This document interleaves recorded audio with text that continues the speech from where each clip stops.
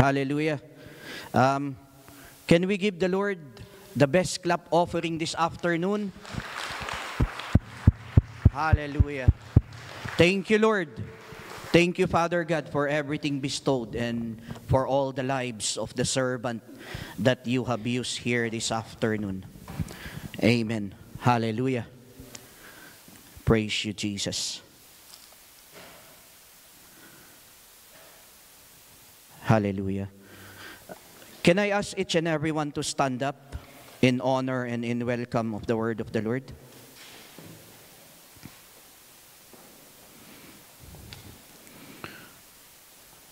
I just want to read Matthew chapter 25.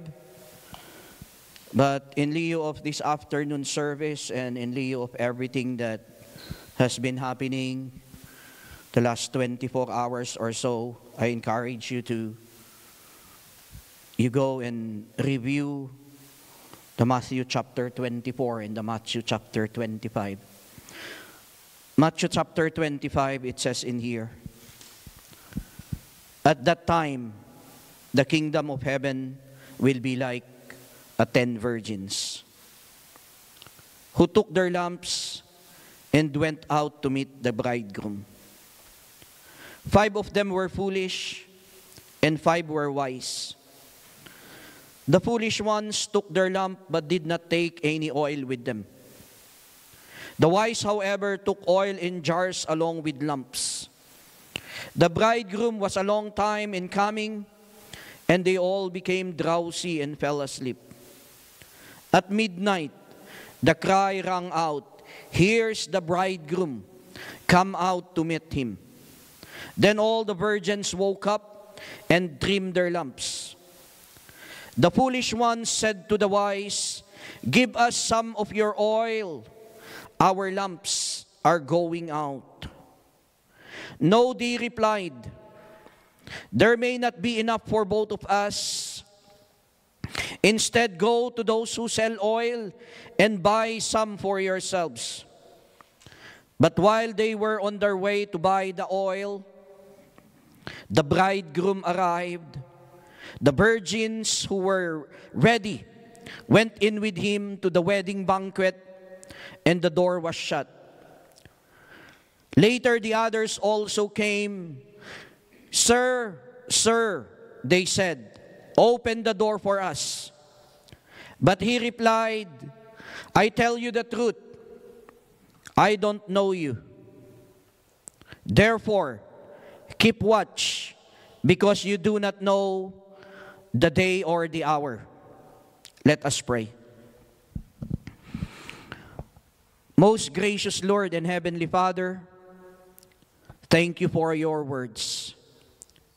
Thank you for each and every breath, Father God, that comes from you that have embodied these words, O Lord. Father, thank you for reminding us once again that we do not know the time nor the hour where your coming is. But thank you very much in spite of that because once again, this afternoon, you are allowing us that opportunity to be reminded by you. Lord, my prayer for each and every one of us, including people joining us online, including people, Father God, who will come across this service at a later times, if time ex- still exists then. That, Lord, I pray for the spirit of understanding. I pray for the spirit of clarity to be upon each and every one. Father, I pray that you open the spiritual senses of each and every one, Father God so that we will not just be merely listening to your words so that this part of the service is just is more than the part where we share your words. But father may we learn from you. May we know you and may we embody your words oh god. And lord i pray Let there be time still, Father, for us to repent and change our ways. Before this time and the hour comes in which we do not know when, they could be imminent. So, Father God, we invite your Holy Spirit to talk to us, to preach to us, to teach to us this afternoon, Father God. Lord, I am just a mere mouthpiece. All of this is you, Lord. So I pray for the Holy Spirit, Father God, to convict each and every one of us with the words that we are about to share this afternoon. In Jesus' mighty name we pray. Amen. Hallelujah.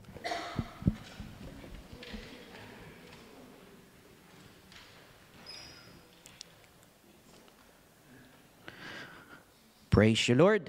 Uh, Sister Alice, uh, 15 minutes, pero kalahati ng 15 minutes, ha? Uh, pwede pala.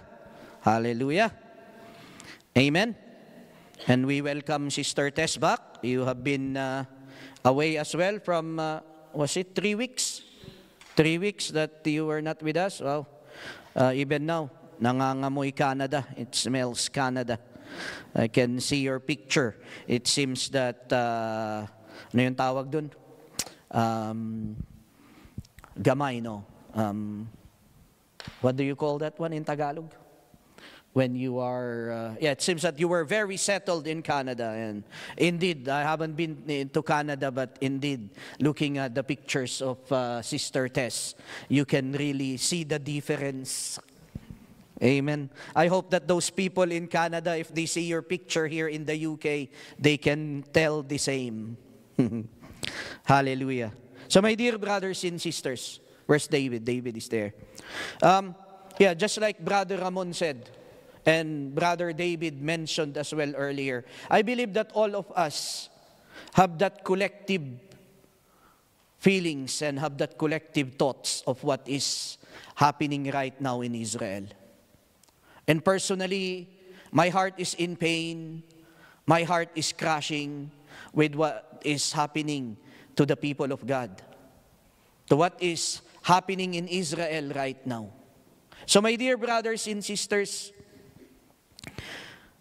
up until yesterday, um, uh, yeah, up until yesterday, up until Friday, um, I had a, a different message prepared.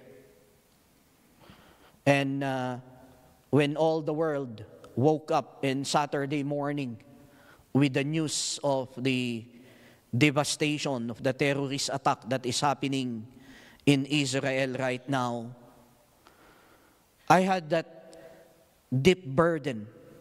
I have that deep desire to once again go back to the message of the Lord that is really very relevant right now.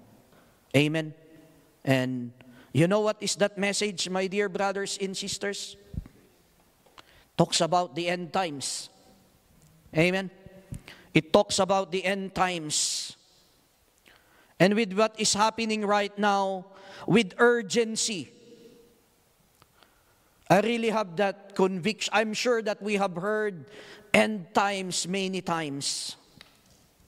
In this church alone, from the beginning of the year up until this time, how many times that we mention about end times. But my dear brothers and sisters, with urgency, with deep desire, I want us to learn about the end times once more. Amen. Because it is a very serious situation. Just like Brother Ramon said, we are very thankful because we are here in this place without feeling the fear of disturbance, without feeling the fear of destruction that the people in Israel are experiencing. But my dear brothers and sisters, as a Christian, as a believer, there is that sense of urgency. There is that sense of importance. If you are a committed Christian, if you are a committed believer, this should be, at the moment, this should be the core and butter of what we are studying, to be honest. You know, we have been, we have just concluded studying the feast.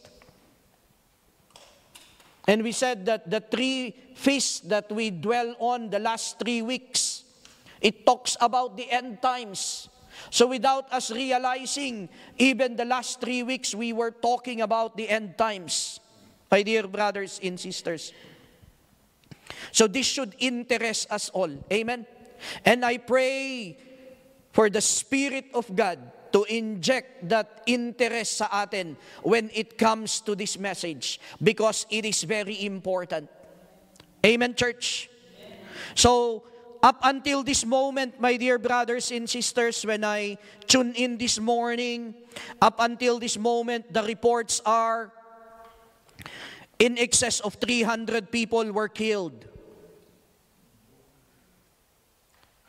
In excess of thousands were injured.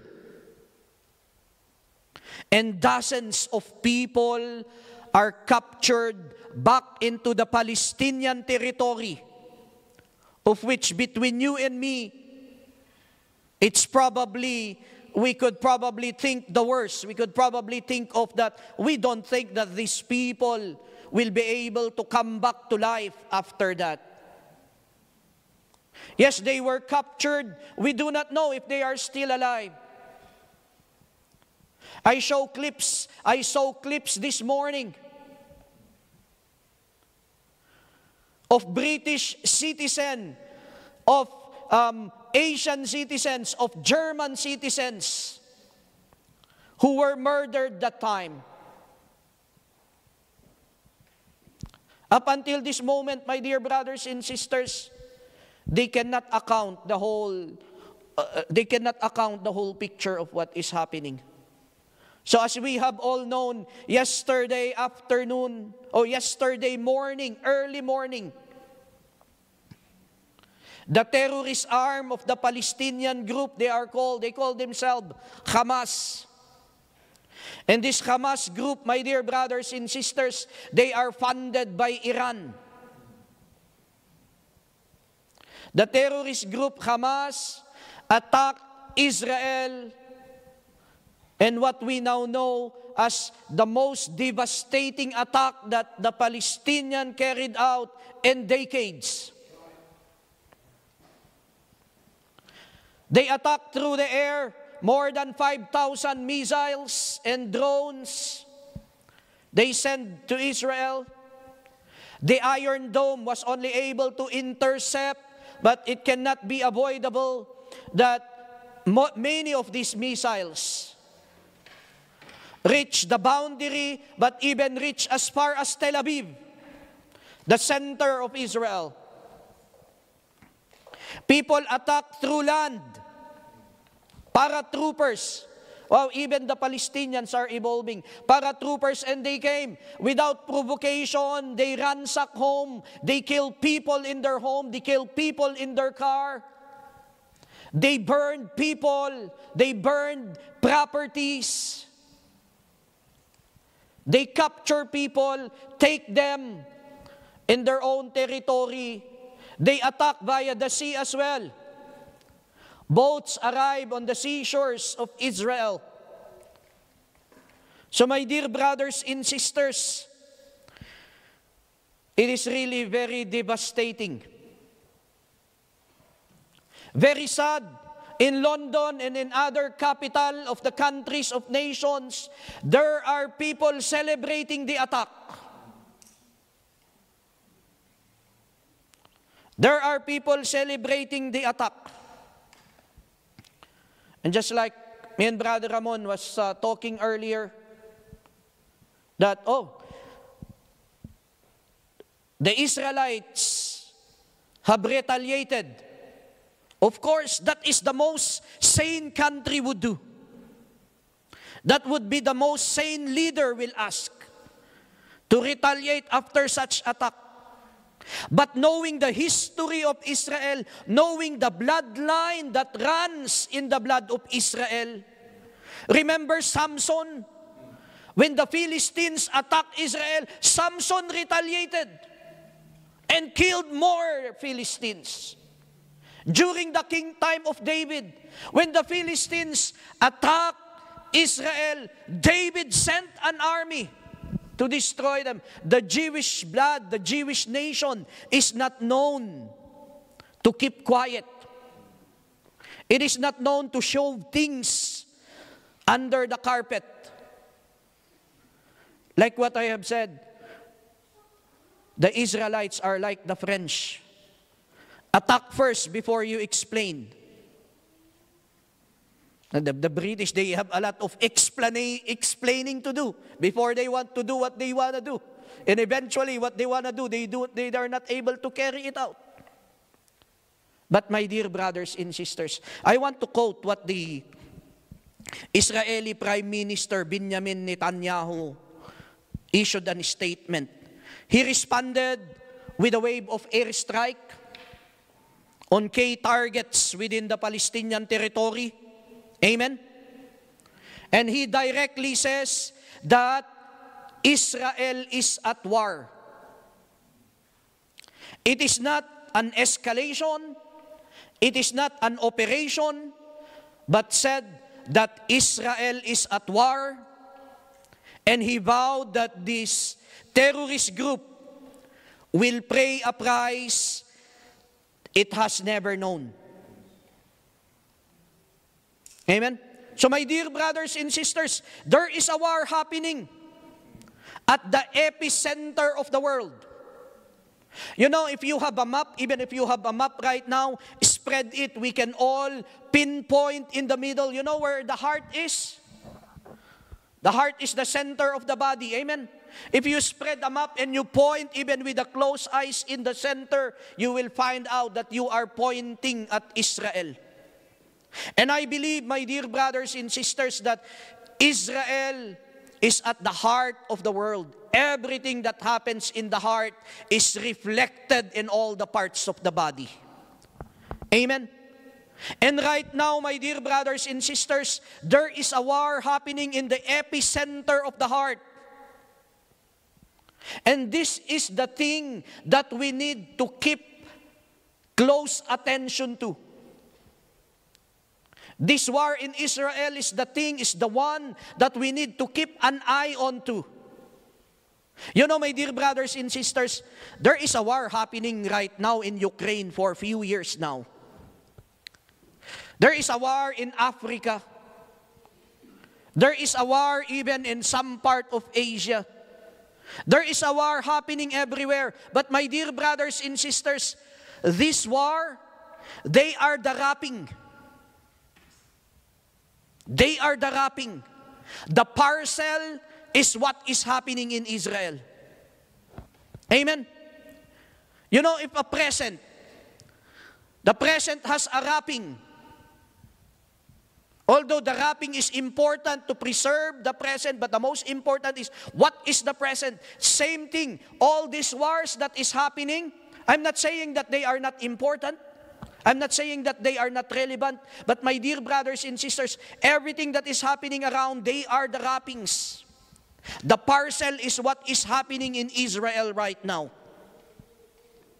Matthew chapter 24, beginning at verse 4, Jesus answered and said to him, said to them, These are the apostles, where they were in Jerusalem, and they asked Jesus, Jesus, can you give us a hint? Can you give us a time frame? When would be the time of your return? When would be the time of the end of age? When will be your coming again? And Jesus said in verse 4, Take heed that no man deceives you. For many shall come in my name, saying, I am the Christ, and shall deceive many. Number one, take heed, be careful, that no one deceives you. Saying, the question is, Lord, when are you coming back? Amen. before my coming back, there will be a lot of claims that I am Him who came back.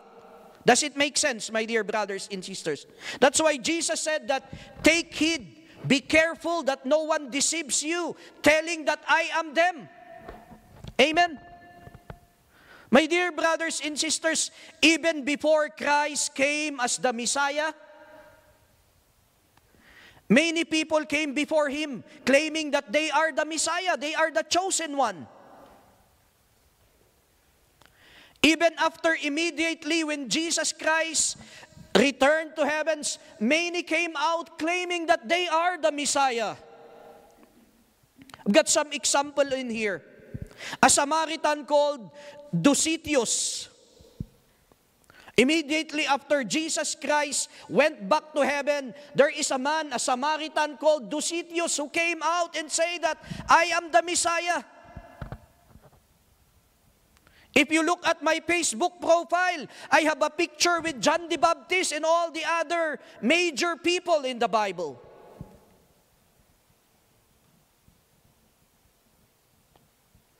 In 100 AD, there is a Jewish name called Shimon Bar Kokhba.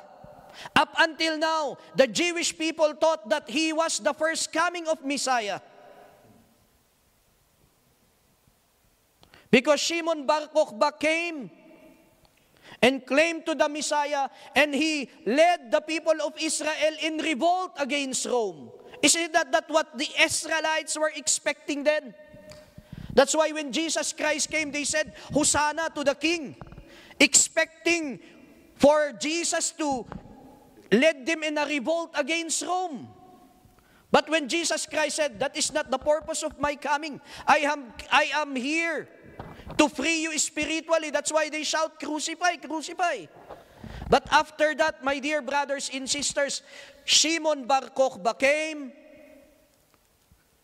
claiming to be the Messiah, and up until now, many Jewish people believes that he was the first coming of the Messiah.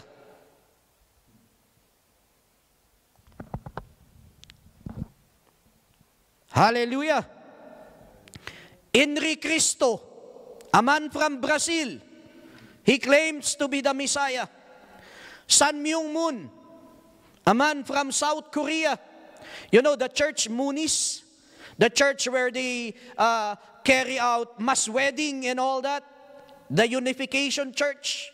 He came to claim out to be the Messiah. Apollo Kibuloy, Filipino, kingdom of Jesus Christ in the south. He claims to be the Messiah. Amen. Senor Aguila. If you don't know Senor Aguila, check it in Google. Filipino. He claims to be the Messiah. And many more. These are just few examples. And these people deceive millions.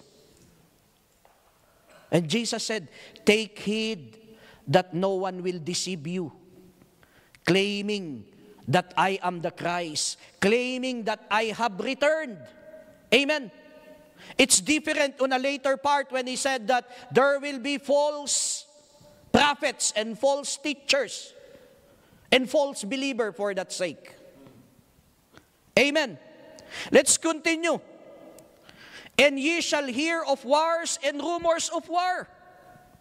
See that you not be troubled, For all these things must come to pass, but the end is not yet. Jesus is talking to the people of Israel during that time.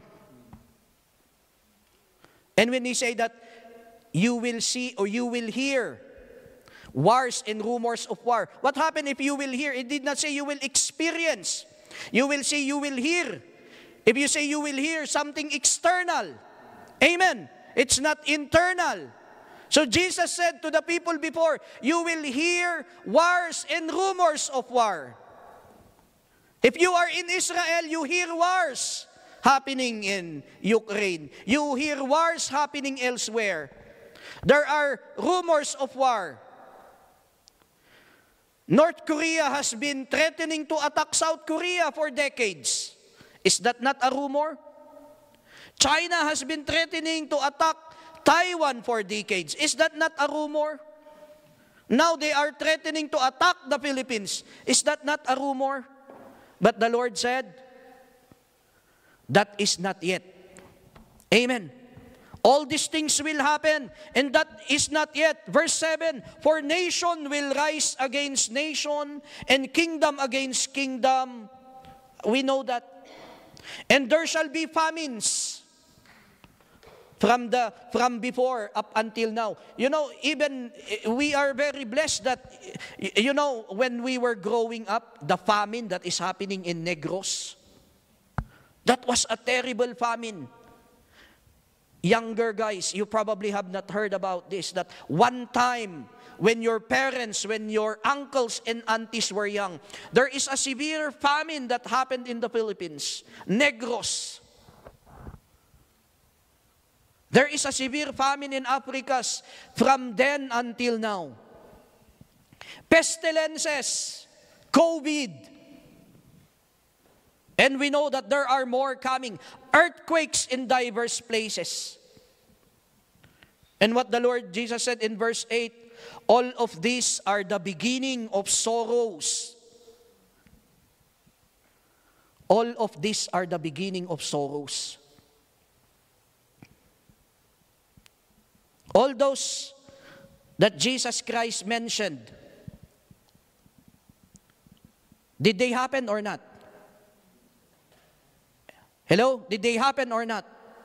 They happen and they're still happening. And if they are happening, so what is happening right now? Jesus said, These are the beginning of sorrows, the birth pain, the birth pangs. Amen. The beginning of sorrow. What is the sorrow that we are talking about? There is going to be a seven year of sorrow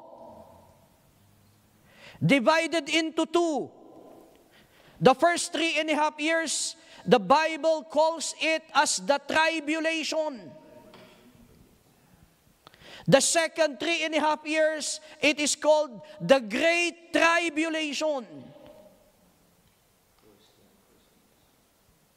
The Great Tribulation, meaning it is an event, it is an occurrence that's so severe. No one has seen or experienced nor encountered before. Before COVID came, has anyone encountered COVID before? Nothing. No one. But we know that in the great tribulation, it is worse and it is more severe than that. The word of the Lord said, you know, if the Lord made it another four, uh, four years, no one will survive. No one will endure. Prime Minister Benjamin Netanyahu explicitly says, Israel is Israel is at war. Israel is at war. And what happened if there is war? What is the cry of all the people, the affected people on both sides if there is war? What is the clamor of the nations? What is the clamor of the coalition of nations? What is the clamor of the United Nations if there is war? What is the cry and prayer of the Christians if there is war? Anyone? Peace. Amen. If there is war, everyone will cry for peace. Is that not what David came to us earlier? Can we pray for the peace that, is, that happening in there? Yes, we will do that. Did we not exhort each other? Let's pray for the peace in Israel. So again, mga kapatid, my dear brothers and sisters, what happens if there is war? What is the clamor of everyone? Peace. Few weeks ago, two, three weeks ago, to be precise, in September 22, 2023, uh, you know what, David, Paula was here last time, your visitor. Yeah? Paula was here. I had a discussion with her and I was so blessed. I realized that she is a hardcore teacher as well. And her inclination is end times. And she appreciate our message last time because she said that, you know what? Not many church preach those nowadays. You know what? This is the, the, the first church that I have been in a while to preach those nowadays. And he said, Are you aware of what is happening right now in the international community, especially with the pronouncement of the Israeli Prime Minister in the United Nations? And I said, What? The pronouncement of peace? Yes, I am aware. And he said that, Do you believe that that is the seven year peace treaty? And I told her, I don't think so. Although that is what will lead there, I believe that it will become worse before it gets better. And within the same week. My dear brothers and sisters, I have an excerpt in here. In September 22, 2023, the Israeli Prime Minister Benjamin Netanyahu stood in the United Nations Assembly addressing the nation. And this is the excerpt of his speech during that time. He quoted Deuteronomy 11:29. Over three millennia ago, our great leader Moses addressed the people of Israel as they were about to enter the promised land. He said they would find there two mountains facing each other one is Mount Gerizim, the site on which a great blessing would be proclaimed. And the other side is Mount Ebal, the site of the great curse. Moses said the people's fate would be determined by the choices they made between the blessing and curse. The same choice has echoed down the ages not just for the people of Israel, but for all humanity. We face a choice today, he said. It will determine whether we enjoy the blessings of a historic peace, of boundless prosperity and hope, or suffer the curse of a horrific war, of terrorism and despair. I said, the day would soon arrive when Israel would be able to expand peace beyond Egypt in Jordan to other Arab neighbors.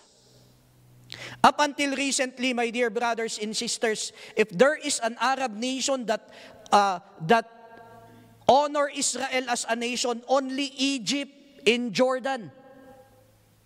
All the rest of the neighbor, no, we don't want them. Let's kill them.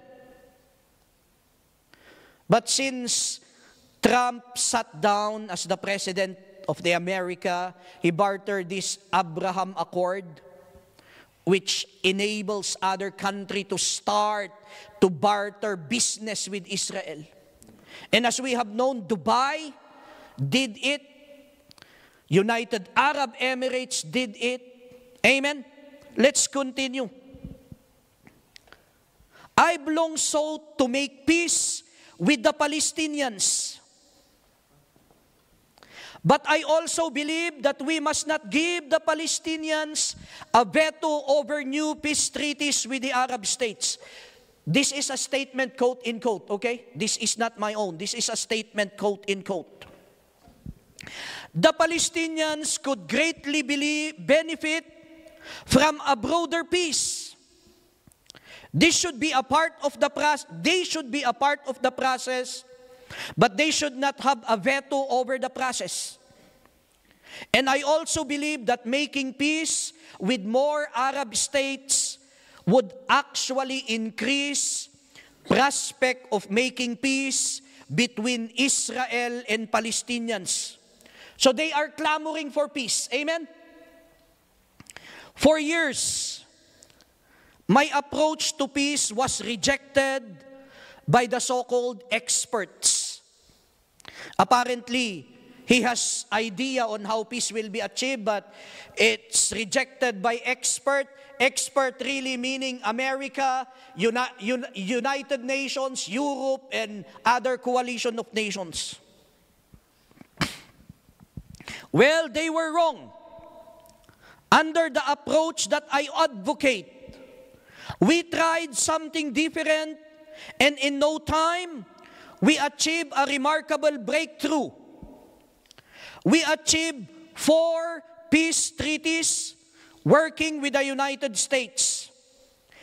Israel forged peace, four peace agreements in four months with four Arab states, the United Arab Emirates, Bahrain, Sudan, and Morocco. Trade and investment with our new peace partners are booming. Our nations cooperate in commerce, in energy, in water, agriculture, medicine, climate, and many, many other fields. Every day, Israelis save time and money by doing something they couldn't do for the last 70 years. You know, the last 70 years, that was the 1973 war, the War of Yom Kippur, where they were able to gain more land space. Amen. So, in the last 70 years, they fly all over the Arabian Peninsula to destinations in Gulf, India, the Far East, in Australia. But I believe that we are at the cusp of an even more dramatic breakthrough. Pay attention, this is where it becomes interested. A historic peace with Saudi Arabia. Amen. So Israel and Saudi Arabia have entered into a peace treaty. And if you know, if you know, my dear brothers and sisters, the Middle East, if you want to have a best friend, Saudi Arabia is the one. Amen. If Iran, Iraq doesn't want to be friends with you, as long as Saudi Arabia is your friend. You know those Gulf War? You know the reason why that the coalition forces won? Because of Saudi Arabia. Amen. And Israel was able to have a peace treaty with Saudi Arabia. We believe that we are at the cusp of an even more dramatic breakthrough, a historic peace with Saudi Arabia. Such peace will go a long way to ending the Arab-Israeli conflict. It will encourage Arab, other Arab states to normalize relation with Israel. It will encourage or other, otherwise brabrasuhin sila ng Saudi Arabia. Amen. It will enhance the prospect of peace with the Palestinians. It will encourage a broader reconciliation between Judaism and Islam, between Jerusalem and Mecca, between the descendants of Isaac and the descendants of Israel. You know what is happening here, my dear brothers and sisters? Man, leaders of the world, are trying to repair what God has designed. Genesis chapter 16, the Lord said that the children of Ishmael will be against their brother that the children of Ishmael will be at war with his brother. Who are the children of Isra- Ishmael? The Arabs. Who is his brother? Isaac. Who is the children of Isaac? The Jews. So from the beginning of time, God said, there will be war between you two.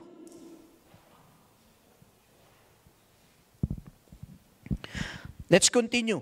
Understand the magnitude of the transformation that we seek to advance, says Netanyahu. when we make peace between Israel and Saudi Arabia, the whole Middle East changes. Why are they going to be changing? Pay attention. We will tear down the walls and barriers to enmity and security. Wow! That's what a, a peace should bring, isn't it? The barriers of enmity, the barriers of war, the barriers of armed conflict will be torn down. We bring the possibility of peace to this entire region. We will not only bring down barriers between Israel and our neighbors, we will build a new corridor of peace and prosperity that connects Asia through AE, United Arab Emirates, Saudi Arabia, Jordan, Israel to Europe. Wow! Hallelujah! It is perfect. It is a win-win situation. Amen? Who would not want that? Do you not want that? But we have to understand, my dear brothers and sisters, when he made that proclamation in the United Nations, when he made that proclamation, it was a vision. It was a vision. It is a vision of what they want to do. Amen. It is a proposal, my dear brothers and sisters. It is a prospect. It is a plan, it is a goal that they want to achieve. It is a desire that want to achieve. It was not automatic. Amen. In order for that vision to materialize, for that vision to happen in agreement, my dear brothers and sisters, what needs to happen? There should be an agreement of all the parties involved. Amen. There should be an agreement of all the parties involved.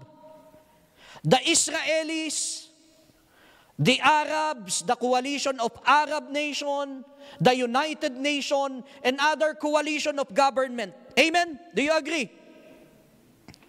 Only then that the vision would become confirmed. Amen? So that is the goal, that is the vision, my dear brothers and sisters. And if there is an agreement of all the party, what's going to happen? It will be confirmed. It will be established. Amen, church? Amen? Amen? Only then that the prospect of peace becomes valid. Hallelujah! Win-win.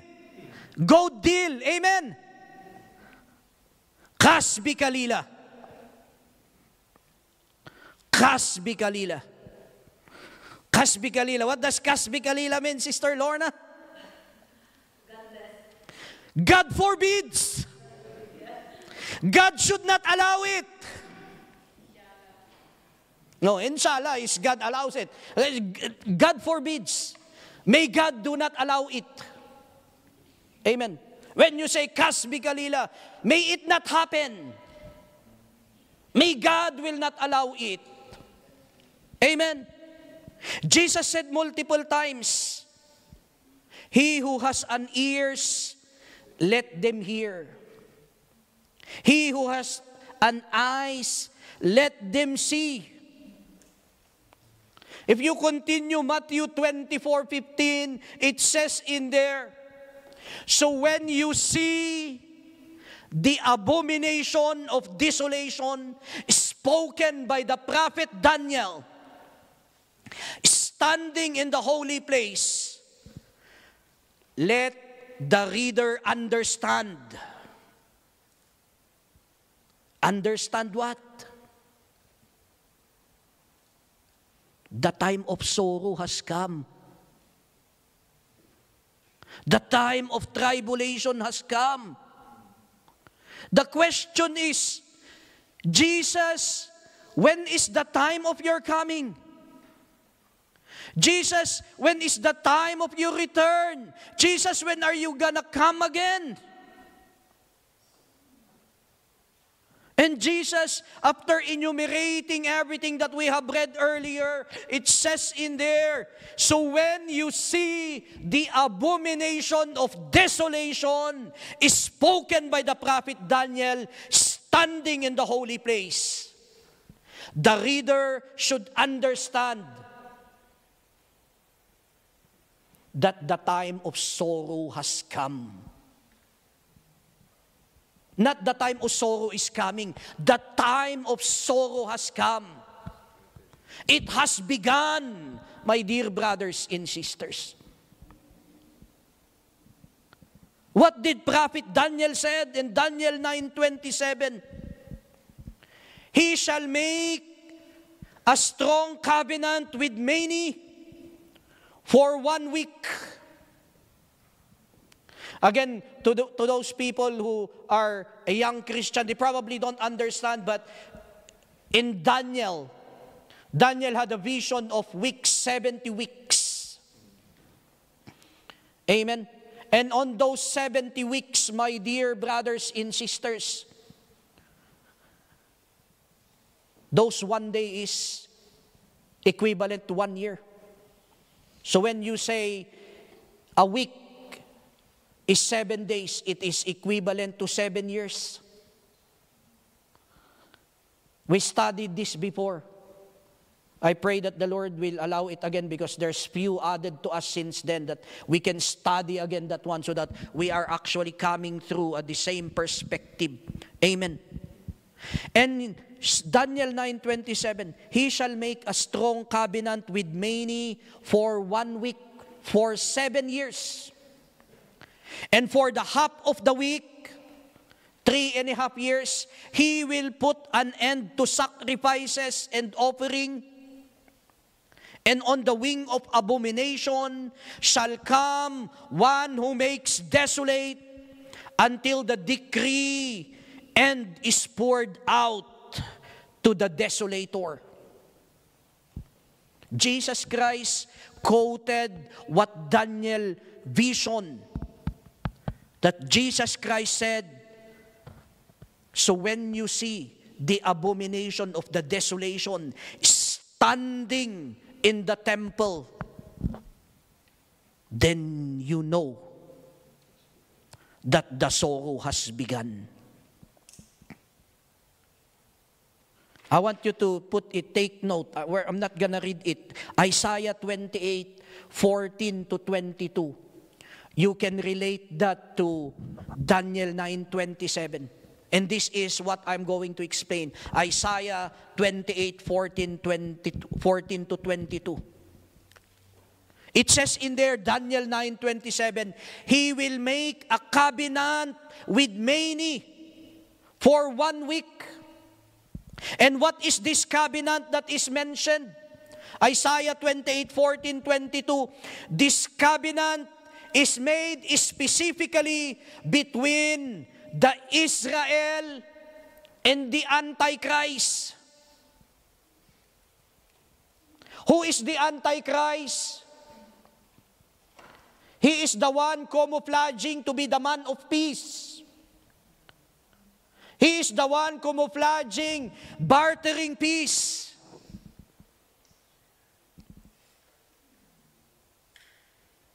The spirit of Antichrist is here ages ago, but the Antichrist will be revealed soon. The covenant is made specifically between Israel and the Antichrist. And what is this covenant? It is going to be a covenant for peace.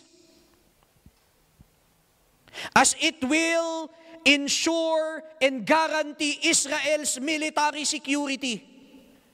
We will tear down the walls of enmity.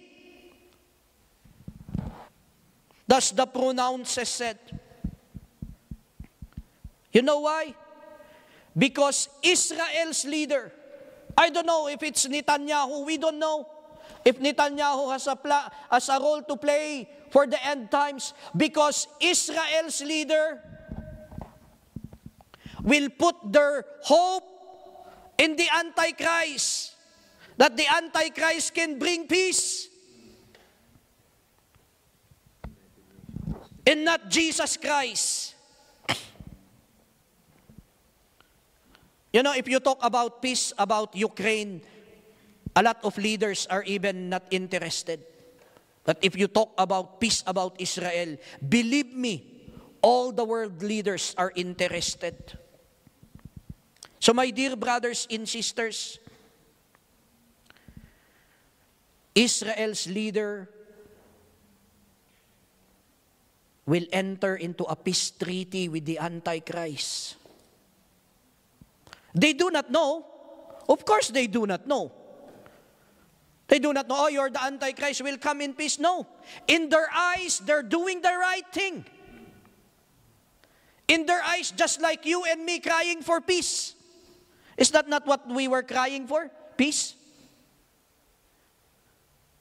So, in their eyes, they are doing the best thing for their nation, for the citizen, for the world. So that's why they want to enter into a peace with what is happening right now, the casualty that we mentioned, the, the victims that we mentioned. We mentioned the Israel side, but let us not discount, maybe double on the Palestinian side. And whether you are Israel or Palestinian, you are life. You have the right to be preserved.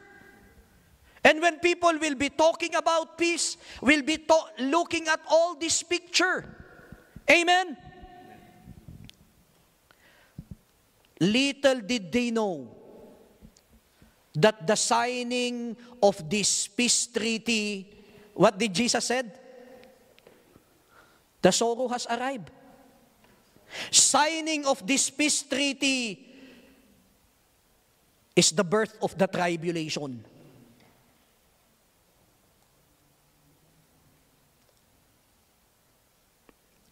He shall make a covenant with many for one week.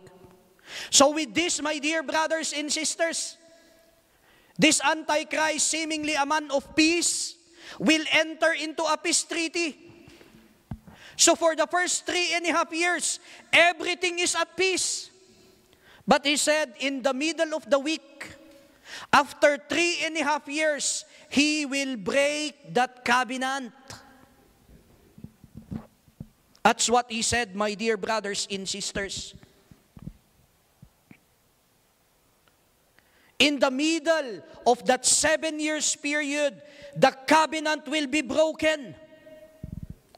Only then will the leadership of Israel realize that it was not a true and lasting peace. My dear brothers and sisters, Second Thessalonians chapter 1 verse 1 to 8, Second Thessalonians 2, 1 to 8. Now concerning the coming of the Lord Jesus Christ and our being gathered together with Him, we ask you, brothers, not to be quickly shaken in mind or alarmed, either by spirit or a spoken word, or a letter seeming to be from us to the effect that the day of the Lord has come. So yun yung sinasabi, that's what Apostle Paul said, that I warned you of any people and any any any talks, print out letter saying that the Lord, the day of the Lord has come. Be aware, Apostle Paul said, let no one deceive you in any way.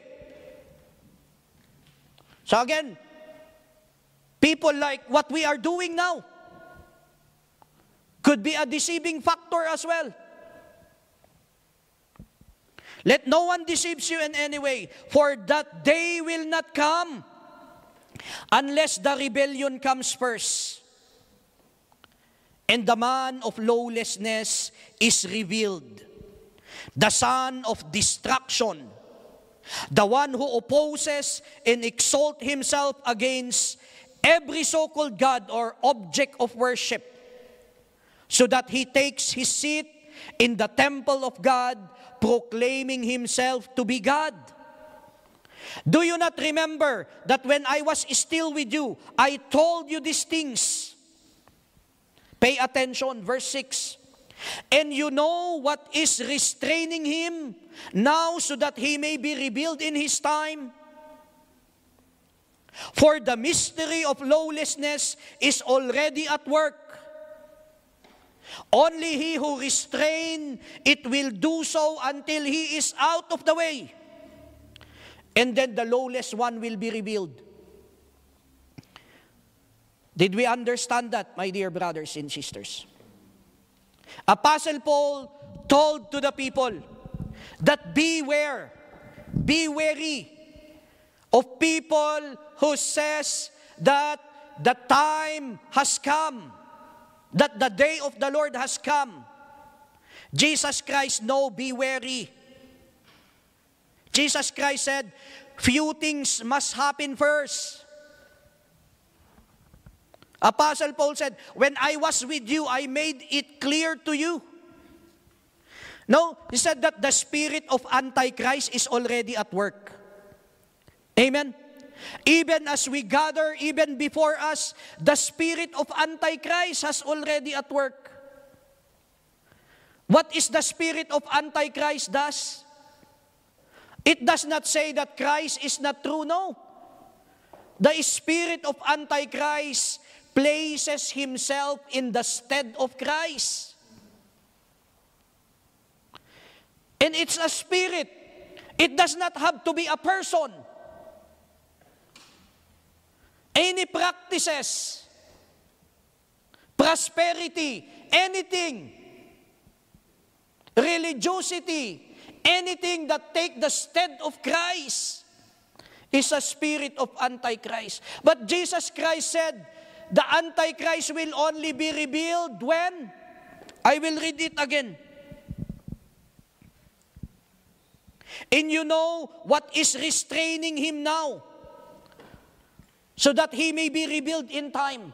Something or someone is restraining for the Antichrist to be revealed. For the mystery of lawlessness is already at work. The spirit of Antichrist is already at work. But he says, only he who now restrain will do so until he is out of the way. So clearly the spirit of Antichrist is around. Antichrist is ready to be revealed. But it cannot because there is something, someone that is restraining it, is stopping it. It will only revealed when that someone, something that is stopping it, will be taken out in there. You know the dam? You filled it with water, the dam is ready to burst out. The only thing that is, is restraining it is the wall. If you take away the wall of the dam, nothing is gonna stop that water to burst. Same thing with the Antichrist. So what is that, my dear brothers and sisters? Who is that that is restraining it? The church. Before the Holy Spirit came, people are people. Only when the Holy Spirit came that people became church. Amen, church. And only when the church is raptured that the Antichrist will be revealed. Amen. Between you and me, if you are reading the Word of God, like what Jesus Christ said, beware because there will be false prophets. Beware because there will be false teachers. There will be false preachers. There will be false pastors. There will be false priests. You know, that's not your business. You cannot do, you cannot do anything with that. That is their calling. The enemy called them to be false. You cannot do anything with that. But what you can do is yourself. Because if you are a true believer, no matter how many false will come, you will endure. But if you yourself is false, a one drop of false, it's not even, uh, there's not even uh, a discussion. That's the reason why, again, like what I have said last time, again, correct me if I'm wrong. But with this, I have that strong inclination of rapture as a pre-tribulation event. That the Lord, it says in there, will save us from the time of the hour. My dear brothers and sisters, rapture is not designed for the church. The church meaning the true believers in Christ. No one can say that I am a Christian, but I was not able to go through the rapture. If you were not raptured, you were not a Christian. It doesn't matter what affiliation you belong. If you were not raptured, my dear brothers and sisters, you are not a Christian. Rapture is designed for the church. The tribulation is not designed for the church. The tribulation is designed for the people of Israel and everyone who comes against the nation of Israel. Amen. Tribulation is the time you, we are in the period of grace at the moment. Amen. We are in the dispensation of grace. You do not deserve it, but it was given to you anyway. Because of the perfect, complete, finished work of our Lord Jesus in the cross. That is grace. Imagine a sinful man like me and the worst sinner among the room, among person in the room. I have not done anything. I just came to faith in the Lord and cried and asked for forgiveness and it was given me. Is that not grace? But time will come, my dear brothers and sisters, when rapture, uh, when tribulation comes, it's not gonna be upon grace. You wanna be saved during tribulation? You keep your life. You, you want your head to be cut in order to be saved. That's the only way to be saved during the tribulation. That's the reason why, my dear brothers and sisters, that the restrictor, the church empowered by the Holy Spirit, will be raptured, will be taken, then the Antichrist will be revealed. You know, people who are saying, I'm not going to be serious right now in faith, I will do that at a later time. You know what? What encourages you? What brings you in faith? When you are listening to music, when you are listening to a preaching, when you are worshiping, when you sow, when you read something, what encourages you to come in faith? The Holy Spirit comes upon you and will rebuke you with your sin, with righteousness in the coming judgment that brings someone to repentance, that brings someone in faith. Amen. And if the Holy Spirit is here, who is doing that, and you are not coming into faith, good luck because if the Holy Spirit is not around during the tribulation, it will be harder to come to faith. Amen. You know why I believe that the church with the Holy Spirit will be raptured? Because God needed to send witness.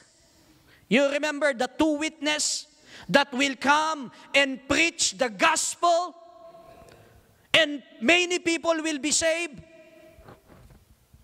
If the Holy Spirit is here during tribulation, God wouldn't need to send those two preachers from heaven. So, my dear brothers and sisters, this is the time where we see each other in the eye, face to face.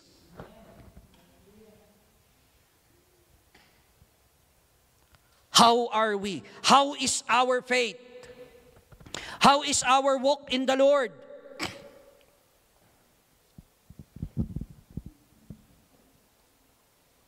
Thessalonians 5. Now concerning the times in seasons, brother, you have no need to have anything written to you.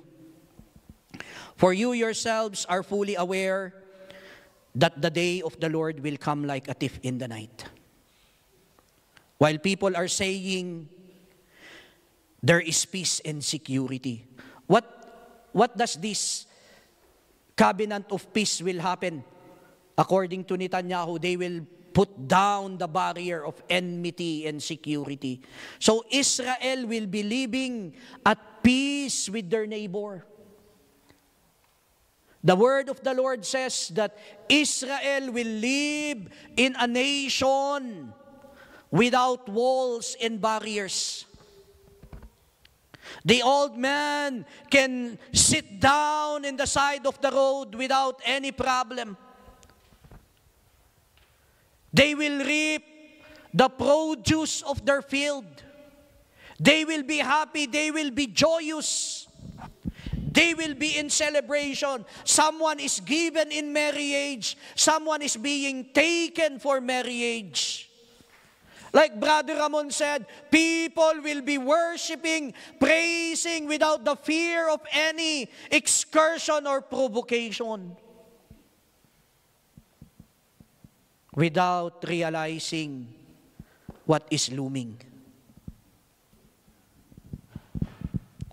While people are saying there is peace and security, then sudden destruction will come upon them. As labor pains come a pregnant woman, and they will not escape. But you are not in the darkness. Brother, sister, you are not in the darkness. I believe that that's the reason why that the Lord enable you to come here today because the Lord wants to beam His lights upon you. Amen. So that after today, none of us people online ought to continue in the dark. Amen, church. You are not in the darkness for that day to surprise you like a thief. For you are all children of light, children of the day. We are not of the night or of the darkness. So then let us not sleep as others do. Let us keep awake and be sober.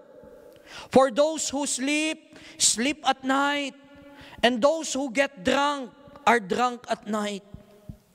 But since we belong to the day, let us be sober having put on the breastplate of faith and love, and for the helmet, the hope of salvation.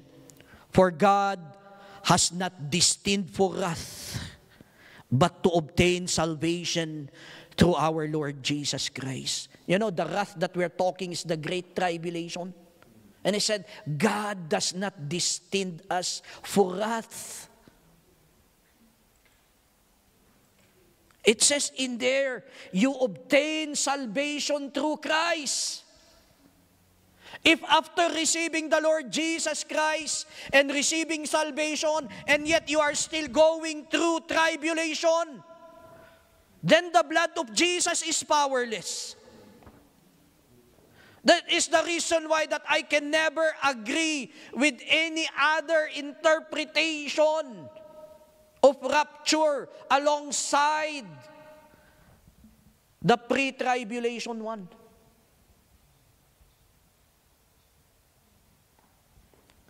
So my dear brothers and sisters, we do not belong to the night.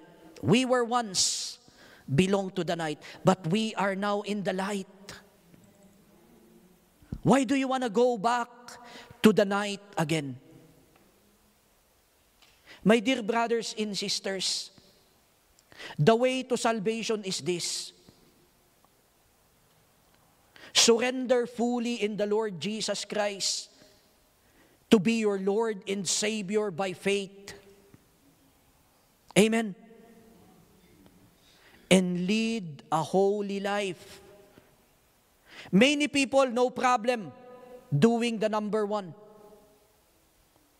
But how about the leading a holy life? How about observing the holy life?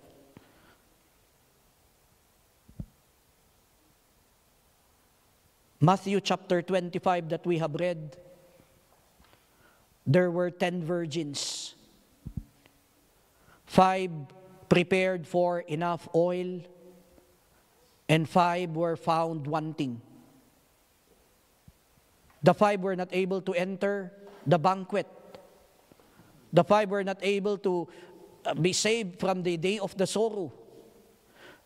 My dear brothers and sisters, if you are thinking that these five unprepared bridegroom are non-Christian, non-believers, then you must have to rethink twice. We are not talking about non-believers in here. We are not talking about not Christians in here. When we talk about the ten virgins, they are all Christians. Do not think that, oh, the five are talking about those non believers. The five are talking are those people who did not accept the Lord. No, those ten virgins were all believers. Those ten virgins were all Christians. Five were able to enter into the wedding banquet, five were unable. What qualifies the five to enter? They were ready. They were leading a holy life. They both accepted the Lord Jesus as their Lord and Savior. They both profess faith in the Lord. They both put Christian on their application in their work when they were looking for work. But five were leading a holy life. Five fell short. They fell short of oil what is that oil, my dear brothers and sisters? Oil symbolizes anointing.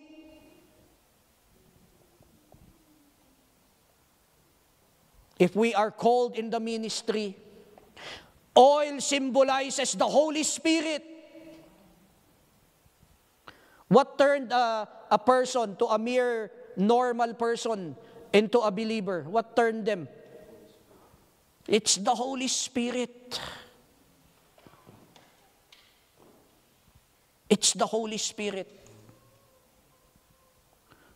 So the markmanship of a believer is the Holy Spirit. Amen, church. And without the Holy Spirit, one cannot have anointing. Because it is the Holy Spirit that gave birth, brings the anointing.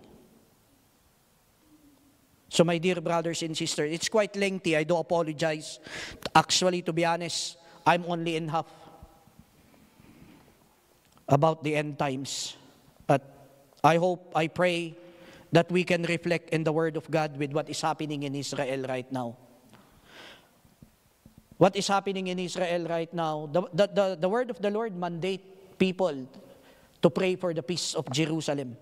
So we are going to do that. But then again, everything that is happening is within the blueprint, within the time frame of the Lord, my dear brothers and sisters. As there is a great war happening in there, we are all crying for peace. Amen. So, answered prayer Peace will be given. Amen. But we know, we just talk about it. Amen, church. So, can I invite the music team? So, I think first and foremost is. Oh, okay. Give, give her a uh, uh, mic para hindi na siya mahirapan.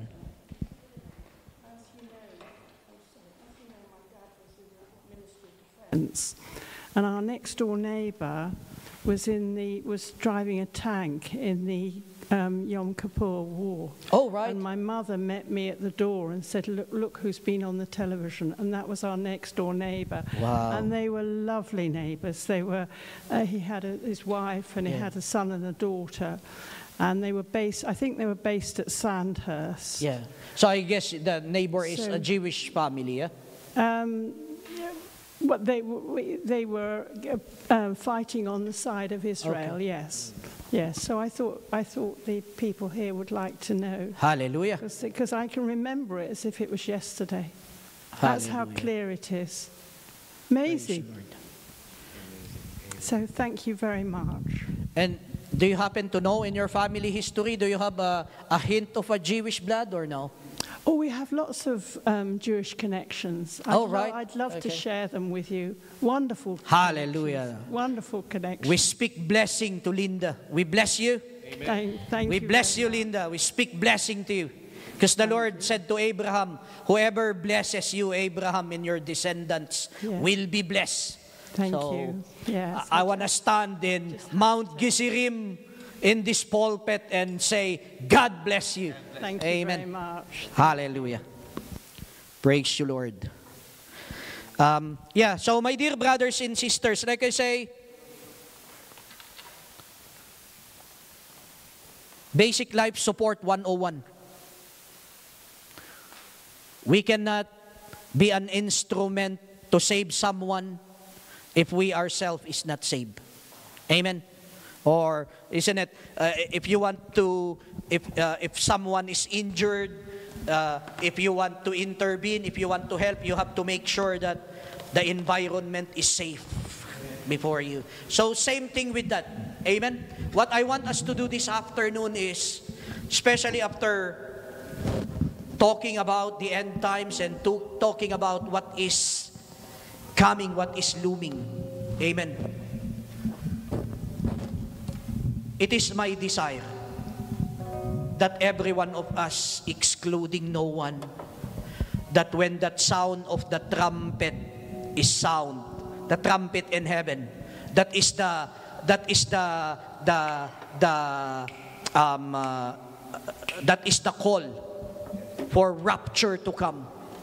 And I pray that when that sound will be unleashed, that every one of us will be raptured with the Lord. Amen. So, my dear brothers and sisters, I just want us, as the music team ushers us, I just want us to, to just once again stand in Mount Geserim and connect with the Lord. I don't know what is in your heart right now. As I see your face, I am convinced that you are a Christian, that you are a believer, but I don't know what is in your heart. Why don't we ask the Lord right now to hallow us, to sanctify us, to perfect us, to enable us, to equip us. And why don't we come to the Lord and say that, Lord, I want to believe in you right now. I want to believe in you right now. Sod off everything that is happening. The Lord says, if you want to find your life, you must be willing to lose it. And why can't we not just lost our life this afternoon by simply putting it everything in the hands of God? Amen. And after that, we will pray for Israel. Amen. Let's stand up, church.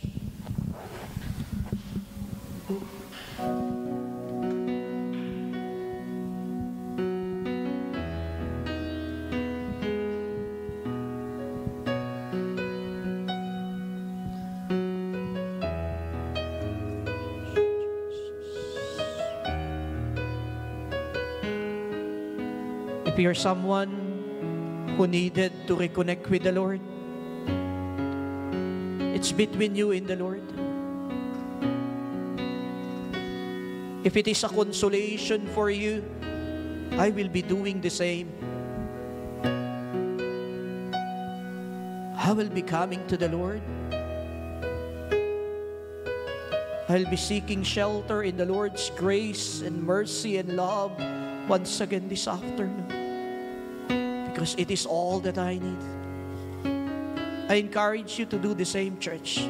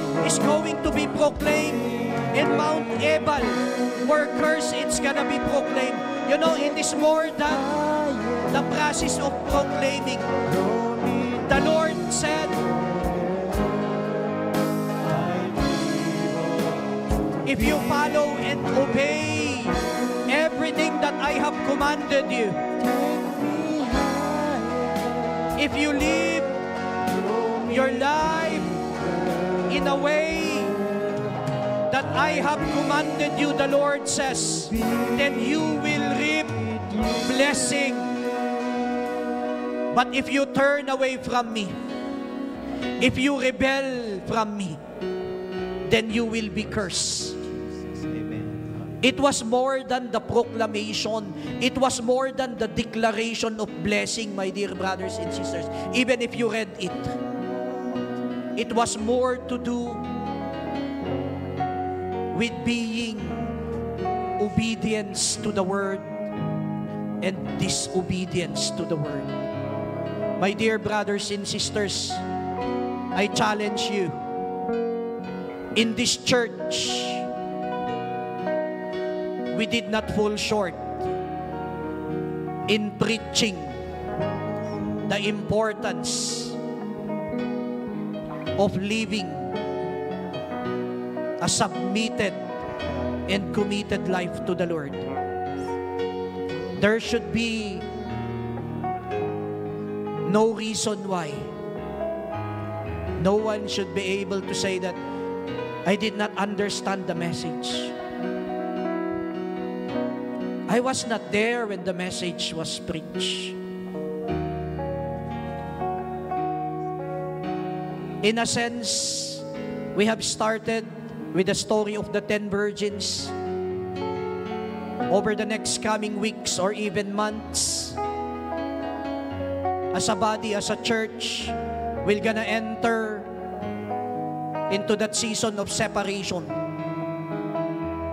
We're gonna enter into that season of separation. In that se- season of separation could either make us or break us. The word of the Lord says, separate from them. Separate from them. So my dear brothers and sisters, while there is time, let us trim our lamp. Let us save our oil. Let us persevere. Let us continue in the walk, my dear brothers and sisters. Sayang, in vain our coming here every Sunday if we will not be able to be included in that flight. It is coming, my dear brothers and sisters. It is nigh, my dear brothers and sisters. And He will confirm a covenant with the many for one week. And He will break the covenant in the middle of the week. And when that happens, thus saith Jesus, when you see the abomination of desolation standing in the holy temple, then you will know. You will know that you were late. You will know that you were late. Because if you found that out personally, you know that you were late because others are already in the air. Hallelujah. Praise you, Jesus. Is there anyone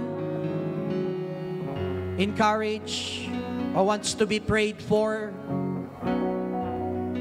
my dear brother, my dear sister, come. It would be a great privilege and honor to be able to pray for you and with you.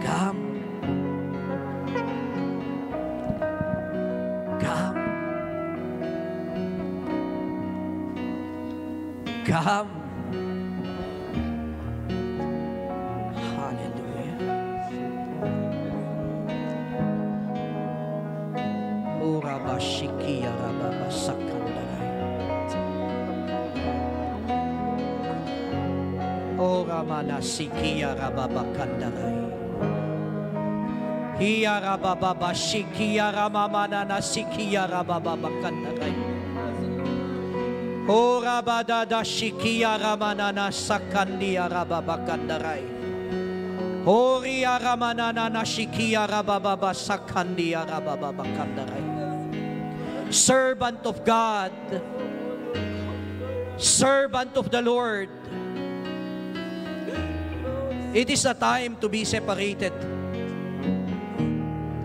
Sometimes our desire, our clamor of going deeper,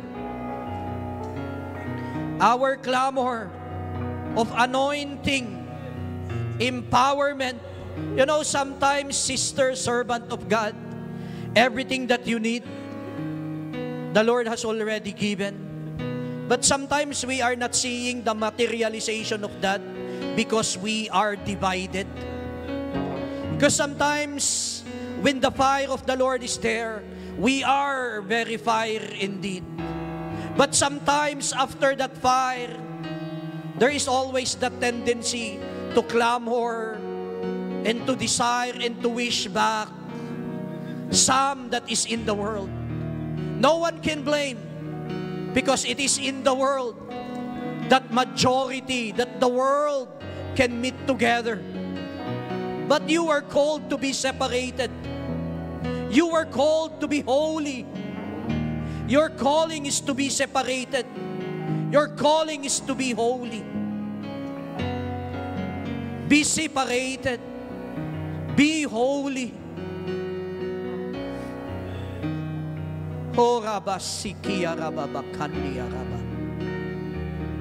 Lord, thank you. Fire, Lord. Let the fire, Father, that consumes, O God, any dross, be upon my sister right now. In Jesus' name. In Jesus' name. Lord, revelation. Opening of those spiritual senses, Father God. Standing with affirmation in your words. In your calling. In your work, Father God. Be at the center, Lord. In Jesus' name, receive it. Receive it. Hallelujah. Hallelujah. Praise you, Lord. Hallelujah. Touch, oh God. Holy Spirit, touch your daughter. Touch your servant, oh God. Hurabashikia rababasakandia. Huramanashikia rabasakanda. Release. Release. Release your anointing. Release your anointing, Father God. Release your anointing, Lord. Fulfill your purpose. Fulfill your plans, O God. Hora mashikiara la rababakiara. Hora bada sikiara manana kandiaray. Hora mana shikiara basakanda. Continue to pray for her. Continue to pray for her.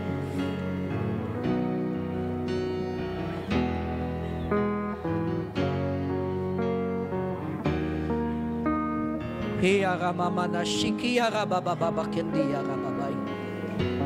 Hora mananana shikia rabababa sakandia rabababa kandare. Make it whole, O God. Cup filled, Lord.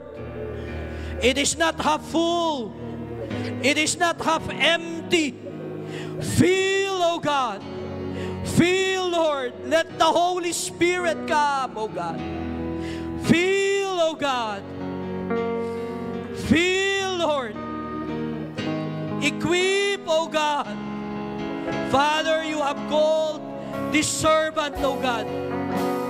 You have called this servant, Lord, to lead this church, to lead this music ministry. Father, fill her up, O God. Fill her up, Lord, overflowing, Lord. Father, whatever leak, whatever leak, be separated right now. In Jesus' name. It is time to stand firmly.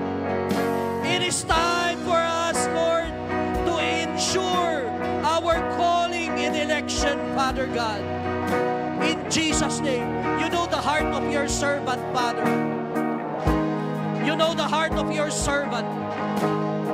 Let your servant appreciate your love, O God.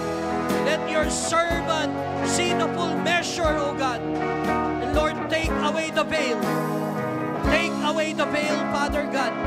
Leading, Lord, to separation. Let her be holy. Let her be separated, Father God, so that her calling and election is fulfilled. So that this music team flourish more the talent, more than the skills. Lord, we long, we desire for a music team according to the prescription of the Bible.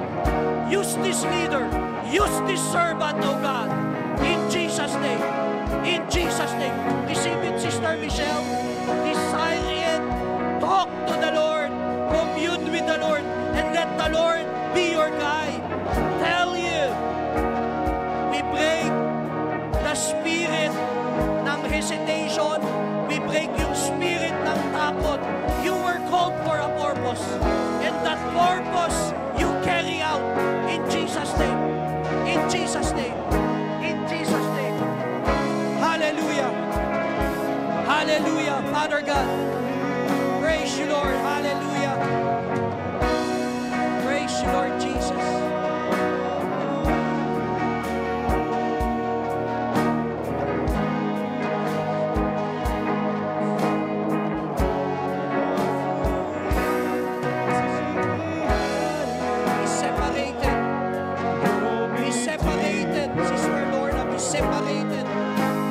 separated, be separated, be separated. Be one in the Lord. Be one in the Lord.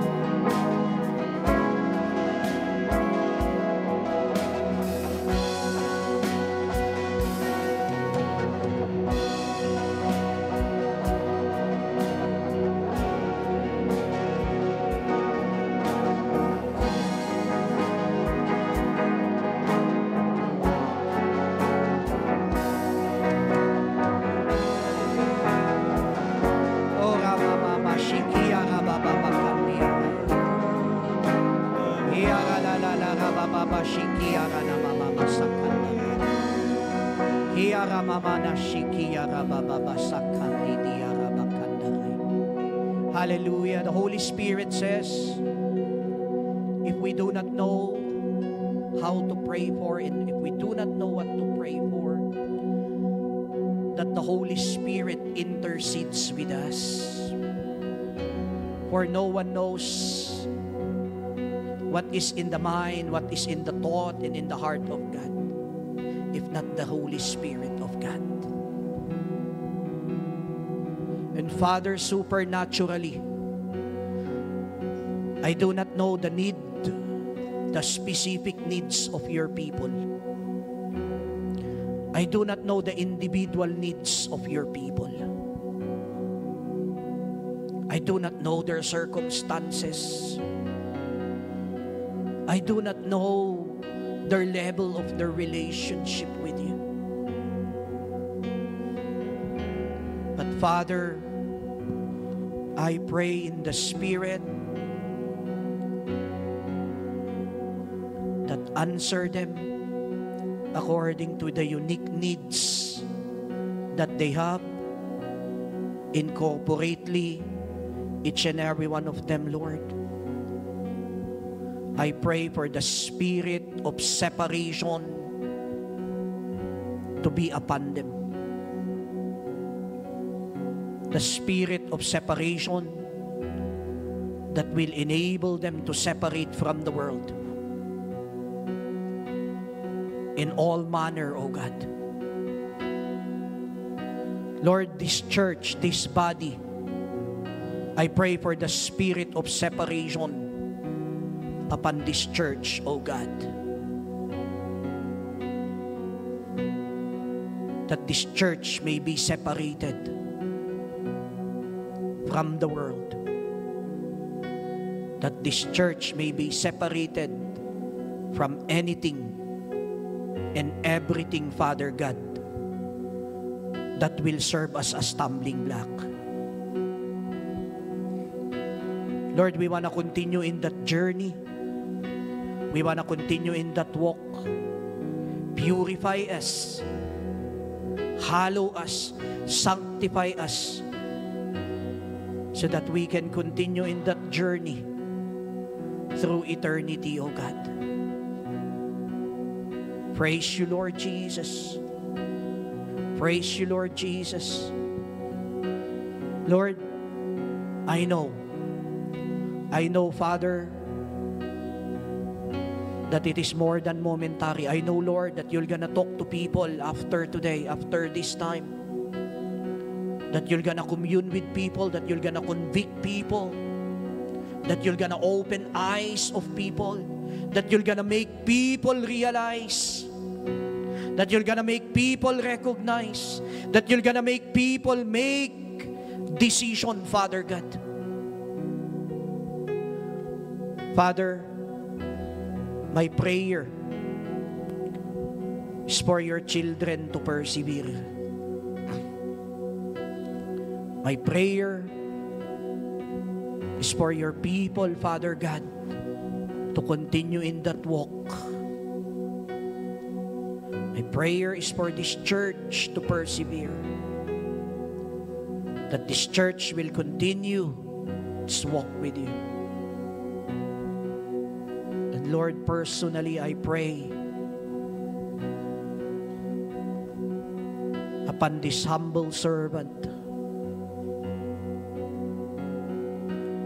Give me the spirit of firmness.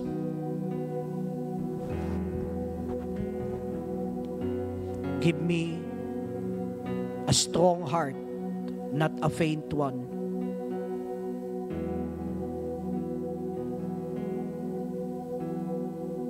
To carry out the works that you have called me forth to do.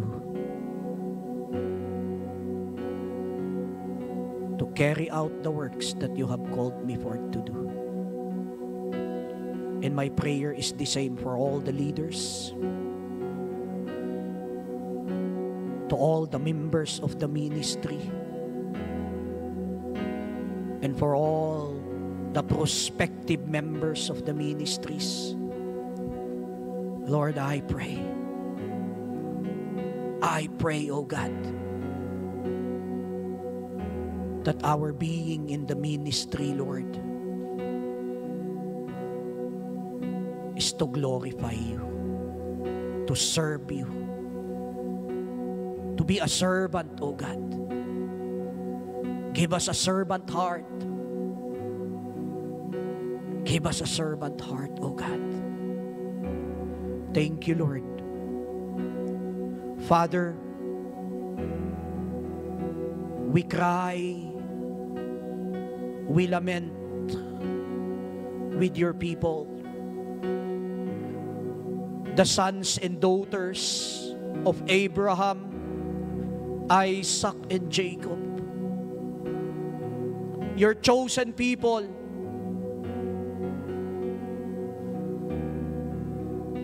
Father God, their name was Jacob.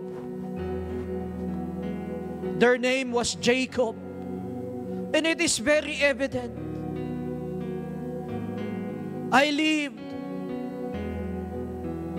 I walked, I worked alongside many Jewish and Israelis. And personally, I can personally attest that they are indeed Jacob in a manner of bruishness, of brassness, of attitude and behavior perhaps. But Lord, thank you because they are also Israel. They have struggled, oh God, and yet they persevered. That's what made you, gave them the name Israel. From being a Jacob to Israel. Because he struggled and yet persevered. And Father God, it's another time of struggle once again happening in the land of Israel. I mean, even Israelis, Jewish people all over the world, there is a hatred towards them. There is a hatred upon them. Lord, we pray, as you have commanded us to pray for the peace of this nation. I mean, peace is coming. It's just, it's two ways. There is the peace, the false peace that the Antichrist is engaging. And there is the true peace that comes from you. And Lord, we desire the true peace that comes from you. Let there be true peace in Israel. And we know and we do believe that that can only be achieved if these Israelites will open their eyes and accept you, our Mashiach, Yeshua, as the one. You said that you are peace. You are the Prince of Peace. May you be welcome in all Israel. May you be welcome in all the Israeli family. May you be welcome in all the Jewish dwelling, Father.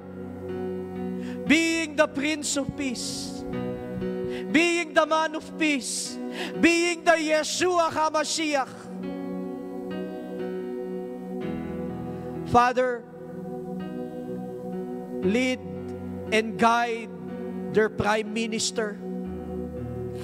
Lead and guide, Father God, their Defense Minister. Lead and guide, Father God, everyone in Israel. At Father God, we pray your people will prevail at the end of the day. Your people prevail at the end of the day. It's always been like that, and it will always be like that. And we pray, Father God, for the Hamas. Lord, in you, it comes blessing and curse. And I believe, Lord, that this Hamas entity, Father God, has chosen their path. has chosen their path, Father God.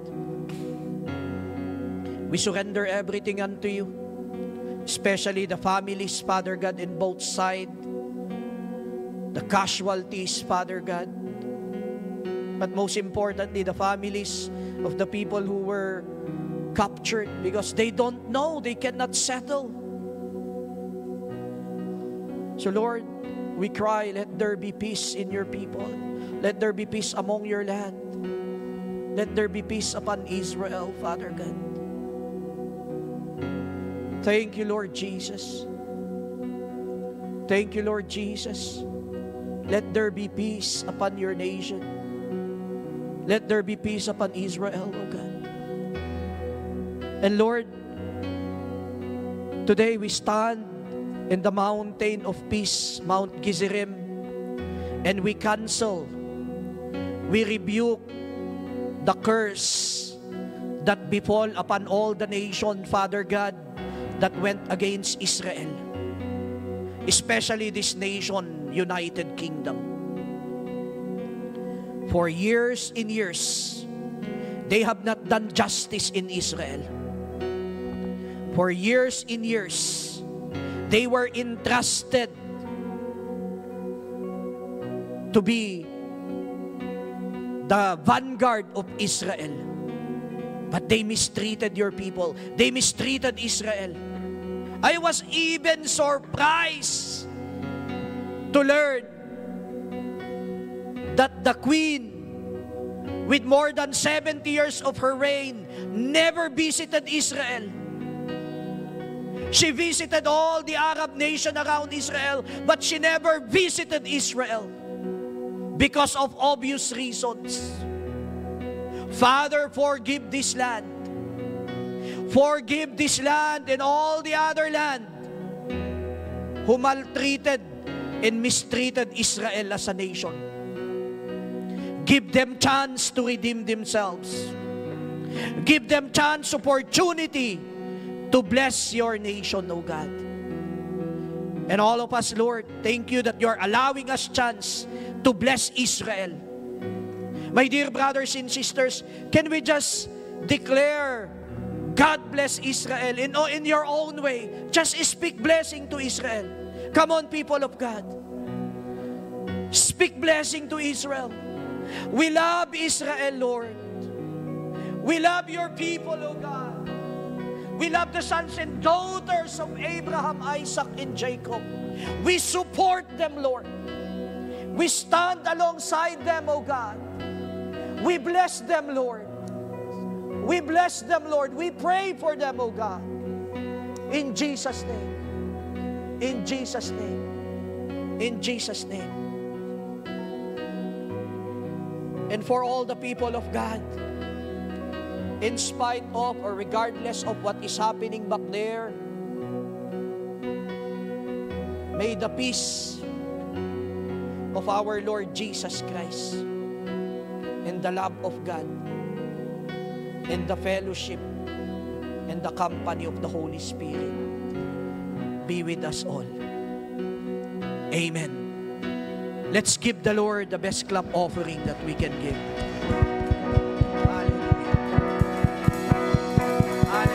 Praise you, Jesus. Praise you, Jesus. Hallelujah. I think I do apologize, music team. I think uh, we can be victorious in every way. Um, I think for this Sunday, nag uh, we overtime maski wag na siguro natin kantahin yung victory song. Okay? Um, uh, let's just bring Sister Alice. I think this is more pressing. Let's bring Sister Alice here. And uh, if you have a message of encouragement. Sister Alice will be flying home tomorrow.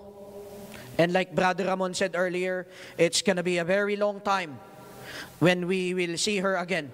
Sa four weeks? four months? Four weeks? Four years?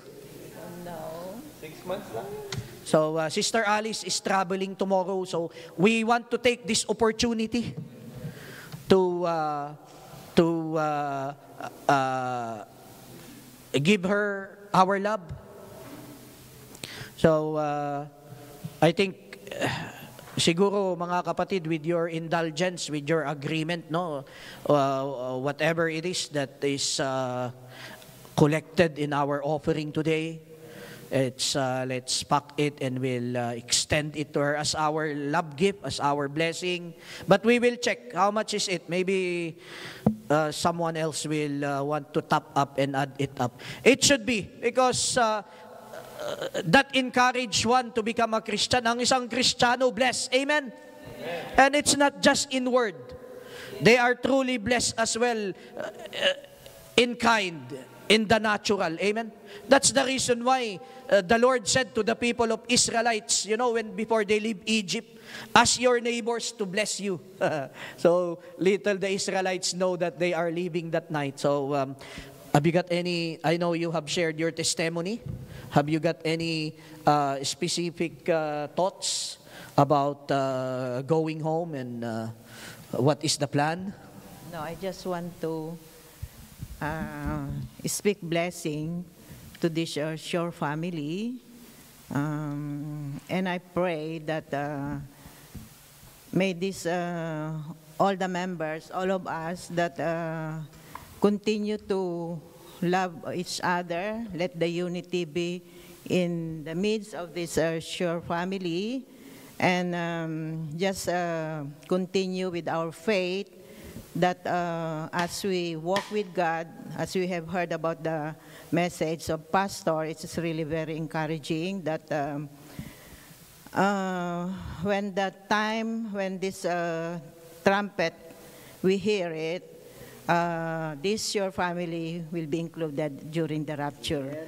So, amen, amen. So, we continue to stand firm with our faith and let the Holy Spirit dwell in us every day of our lives until until this uh, trumpet sounds. Amen. And I speak blessing and I pray for our pastor Hector, whom God whom God has used for this uh, sure family and with all the people hearing with all this uh, preaching of our pastor, I praise and thank our Almighty God, and I pray that uh, our Lord Jesus Christ will continue to give him uh, the strength, the good health, and the power, the wisdom, and the knowledge that is coming from our Lord Jesus Christ, so that whatever the mission, whatever the will of our Lord Jesus Christ with the life of our pastor Hector will be fulfilled, especially in leading and guiding this uh, Shore family as well as to all the people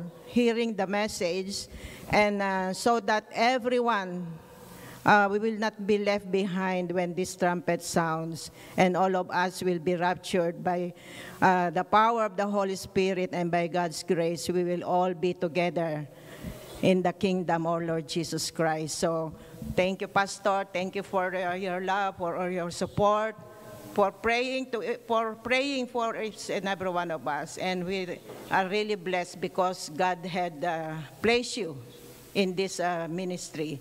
And uh, may God will continue to bless you exceedingly abundantly uh, and with all your whole family. And thank you, Lord, for his life. And thank you, Lord, for each and every one of this Shore family. And we are so blessed because of you, Lord Jesus Christ. Thank you, thank you, Lord. Amen, amen. Anyone that wants to uh, parting uh, message from uh, Sir Alice? Anyone? Take this time. Take this time. Take this time. Release natin sa kanya yung uh, blessing, the message of blessing. Hello po ate. So come here and release the blessing. Ano yun? Release the blessing.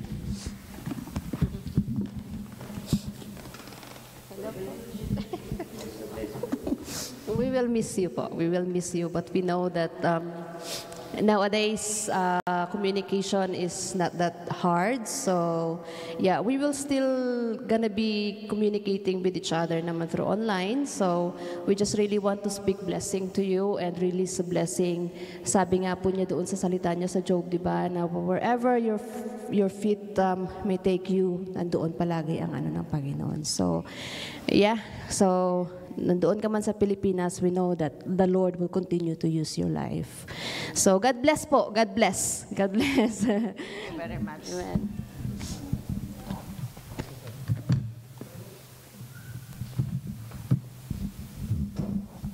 Wow. Ate, congratulations. um, to reach this, uh, you know, um, time for the life of Ate, it's, uh, it's not easy after 18 years, Yeah. isn't it, Ate? To go back home, to start, uh, uh, well, she's the blessing, carrying the blessing back to the Philippines. And we pray, Ate, for um, God will guide you for your whatever your plans and um, God will strengthen you there na pero pag malungkot ka ate anytime you can come back isn't it by she can stay with us anytime. Marami kang ano matitirhan dito. But as I said we are here for you. Um, um, the only I can alam ko si ate dito uh, nagsisharean kami ng prayer. And thank you ate as my ate as spiritual ate. And ja- ang pabaong ang pabaong ko lang sa iyo ate is uh, take the the joy of the Lord is our strength kasi even our body is wearing off or there is tiredness or kapaguran sa ating araw-araw na pamumuhay. But if the joy of the Lord is our strength, ano man ang pagod, ano man ang bi- kabisihan po, but you have to seek God first. At alam natin that God will honor what our hearts desire. Amen. God bless ate. Thank you. Thank you.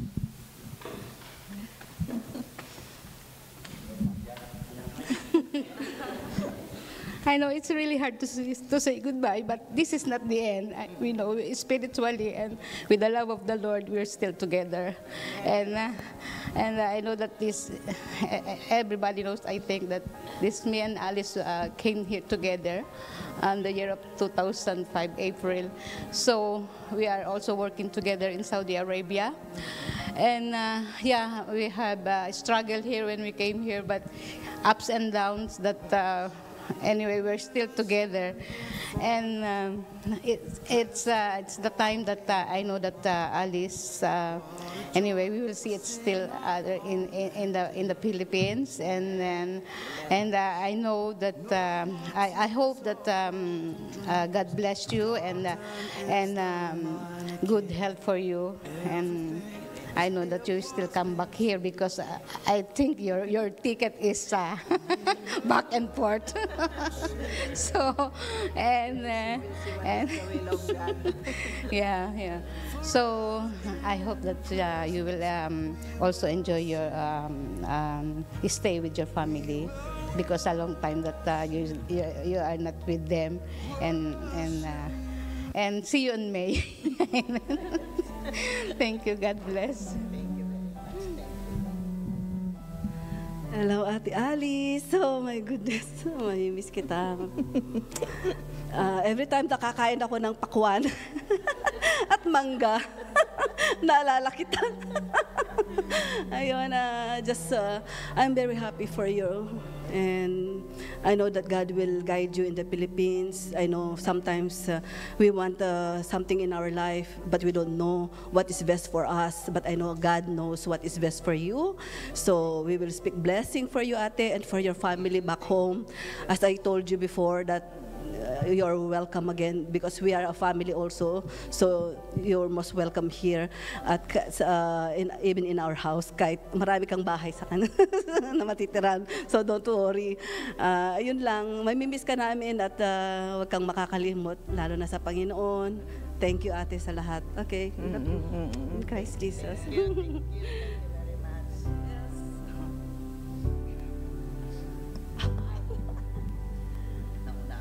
Ate Alice. Uh, God has a purpose and we know what's the purpose. So um, continue to ano um, be ano uh, yon mag-fish ka sa Pilipinas. Uh, ayun, maraming ano maraming uh, Ayun. So, uh, we would like to release our blessing to you. We will miss you uh, physically, but we know spiritually we are all together. Yeah? Sabi nga ni Lorna, pag may mangga kami tsaka pakwan, we are going to miss you kasi wala kaming kahati. God bless you always, ate. And ano, may God continue to uh, cover you with His precious blood and keep you safe. And we're going to miss you.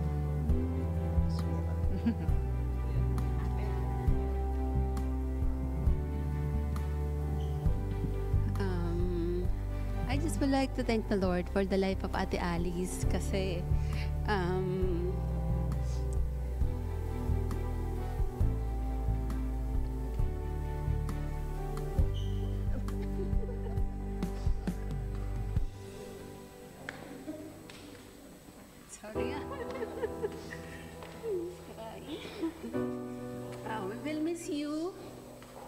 Thank you for the encouragement na binibigay mo sa amin, especially sa Women Bible Study.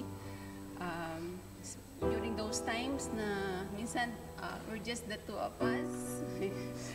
But you still encourage me. Thank you. And uh, may you be a blessing sa church mo sa Philippines and to your family. Just enjoy their, your time with them. God bless you.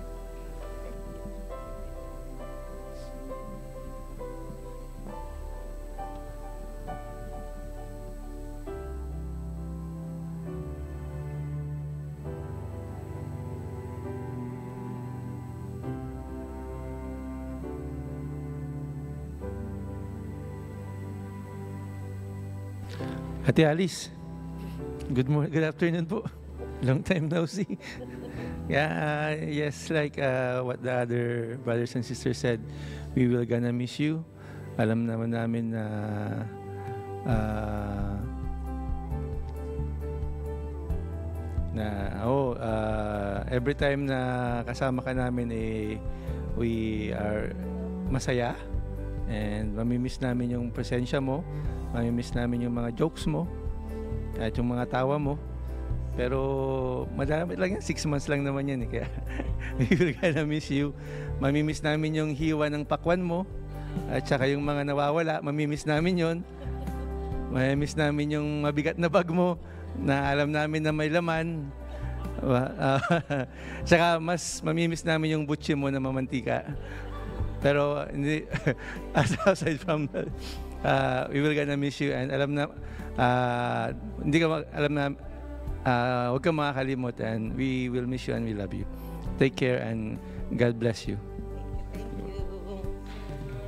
Bakasyon tayo sa December. punta na lang. Pasyalan ka namin sa December. Hi, Ate.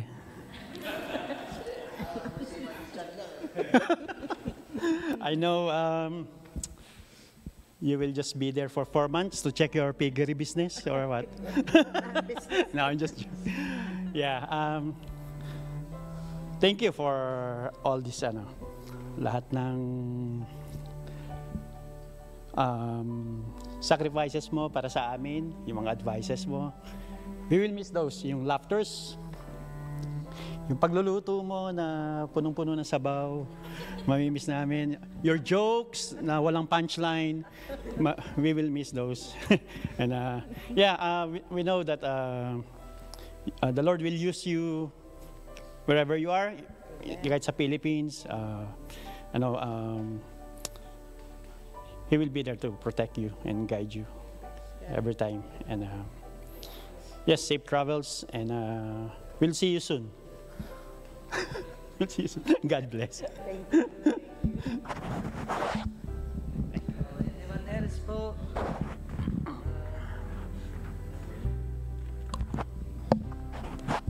Farewell, my friend, my sister, and my ate. Mamimiss yung isda namin. Sige ka. But uh, I want to see God bless you. Mamimiss ka namin. God bless you. God protect you.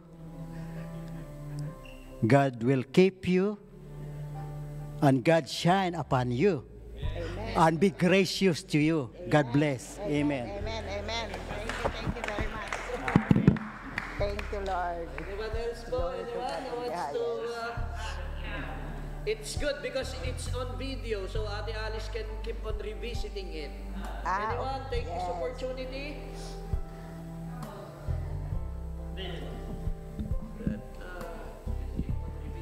Ata, we just would like to thank you for everything, for being always with us, and um, just continue to walk in the light of the Lord. And wherever you will go, just remember that we're always here as your family, and we will be in touch. Napakabilis ng ano, social media this time, so it will not be a long, long way. I think you will be back soon. So. Thank you for all, and you will be blessed, and God bless you. Amen, amen. Amen. Thank you, thank you. Mm. O, sino ba?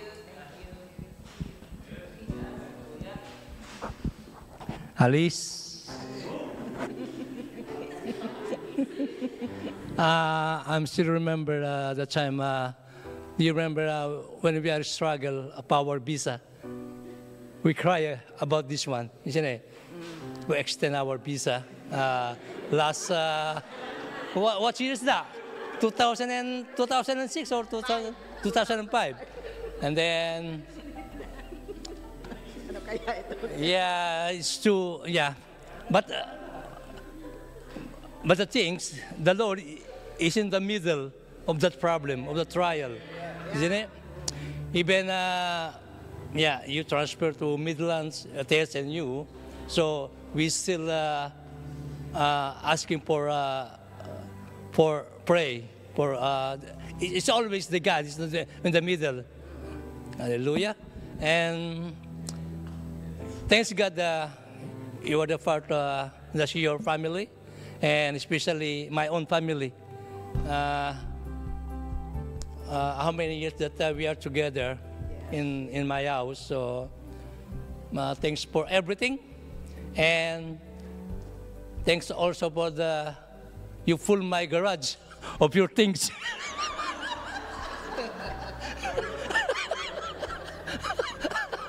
and anyway, uh, thanks for uh, to let me know that uh, I will throw it everything. but I will I will collect first. Maybe there is something new there, or I can wear it, or I can give to charity. All right. I want to say uh, God bless and we love you all. Okay. And welcome back again next year.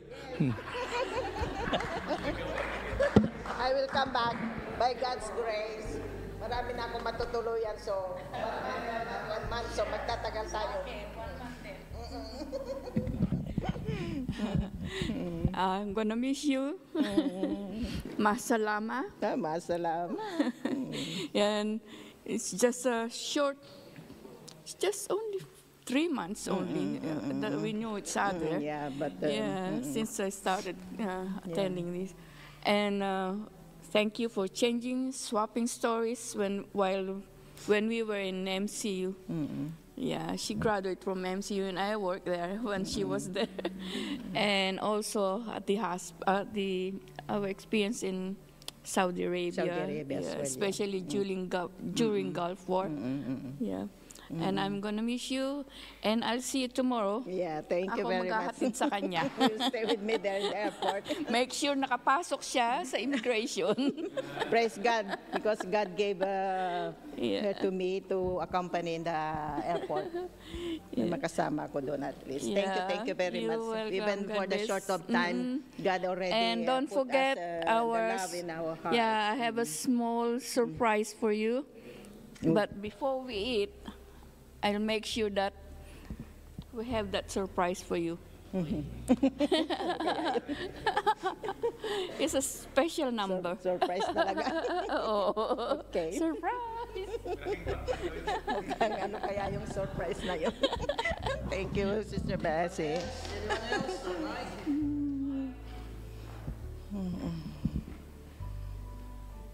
Jemima, you're next. Jemima.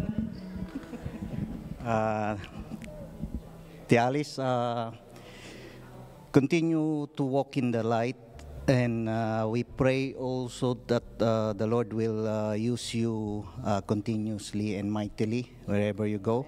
Amen. Yeah, and um, always, always stick to the Lord.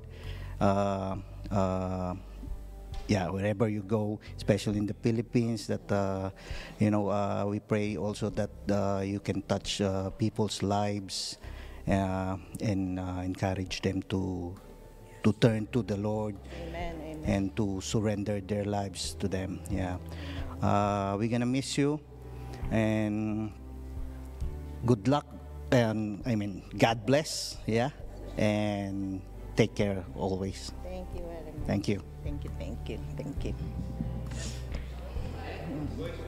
Anyone else? Anyone else? Oh, boys, you wanna say something to uh, Sister Tita Alice? Why do I, why do I have to? Because you said let's okay, fine, I'll be there. Because all this thing. Um, we'll miss you. yeah. We'll also also miss when you do the selfie stick. we'll miss the selfie stick thing. Did you bring it with you today or no? Aww. But uh, no more time to do It's it. o- it's okay. Maybe you can do it for me now. Yeah. You want to go? Daniel, come on. Uh, Tita Alice, uh, thank you for all you've done. Thank you for everything you've done in our church, and we'll miss you. I will miss you all. Um, thank you for the nice children prayers um, during service and the selfies. Um, yeah, thank you. Continue to be used by our mighty God, yeah, with this ministry. Um, yeah, hi Tita. Hello. Uh, yeah, uh, it's good that you're like always with us with the selfie stick. So we have memories, Yes. and hopefully we'll see you soon. If that's four weeks or four years, but We'll see. we'll miss you. Yeah. Okay. Thank you, my dear young children. Okay. Continue to walk with the Lord, okay? And be used by God with this ministry in the music. Yeah, yeah, really. now you see. Anyone else who wants to, how about you, Albert? You wanna say something? Oh, Glyza, you wanna say something to Tita? oh, uh, we, we give you your release paper. this is your this is your release paper. uh, it's good. It's good because uh, everything is uh, recorded in the video. So, uh, and you know, we, alam mo namang mag-operate ng Facebook, di ba? so you can keep on going back and you can review it. So, uh, you can, uh, para maalala mo ang lahat ng mga kapatid. And um, uh, wala pa dyan yung palaman, ha? Ano pa lang? Ito pa lang yung thoughts and ito pa lang yung mga thoughts and uh, yung mga thoughts ng mga kapatid captured in uh, writing. And ito pala, pinaalam ko to kanina eh. To. To. I, I'm sure gusto mo to eh. And uh, yeah, we will miss we will miss a lot uh, kay Sister Alice. And uh, I want to correct Brother Ramon, hindi namin mamimiss yung uh, butchi mo na mamantika. Mamimiss namin yung mantika na may butchi. no, no, um, uh, we were so blessed. No, we were so blessed. Uh, katulad ng palagi nating sinasabi na hindi man tayo mabigyan ng pagkakataon to come and stand in front, but uh, our coming together, our fellowshipping together is we minister to one another. No, not necessarily na you come in the front and stand. Even you guys, even as you sat there, you minister to us as well. You encourage us as well. No, so that includes you. Um, uh, yeah, the past. Uh, uh, the past, um, uh, I think, um, uh, obviously the church is seven, but even the past um, uh, 11 years, no 11 years nung di ba yung sa Friends of Christ and wow it's all these 11 years there's a lot of uh, a lot of um, memories a lot of things that had happened na pinagsama-samahan natin, pinagsalusaluhan natin. And I was so blessed kung nakita nyo yung Sister Alice 11 years ago.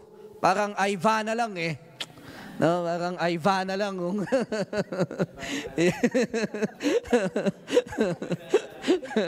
Ivana malayo.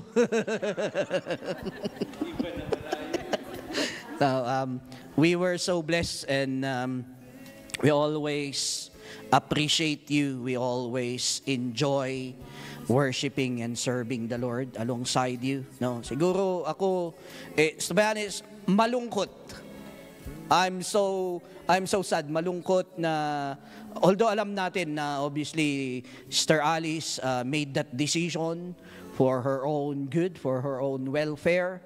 Uh, I think personally, andun na malungkot katulad ng iba na talagang nakakalungkot nga naman talaga. But uh, make our joy complete, sabi nga niya sa salita ng Panginoon. Sabi ni Apostle Paul sa kanyang mga disciples na, make our joy complete na mabalitaan namin that you are growing in faith.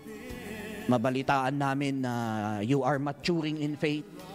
Mabalitaan namin na ginagamit ka ng Panginoon in your local church sa uh, Mongkada.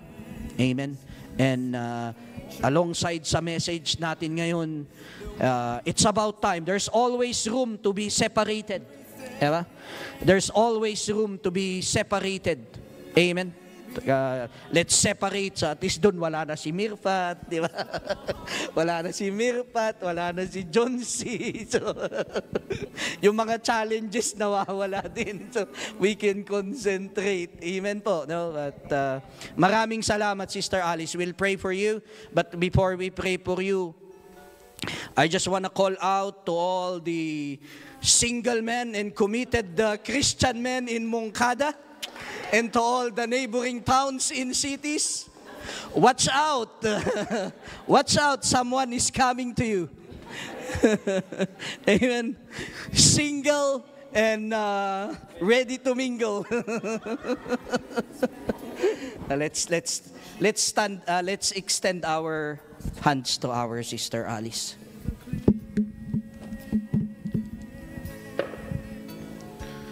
Hallelujah, Lord. Praise you, Jesus. Glorify your name, Lord. Father, thank you for the times and the seasons of our life.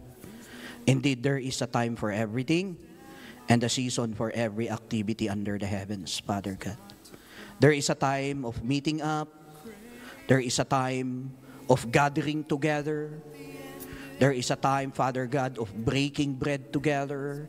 There is a time of sharing ourselves with one another, Lord.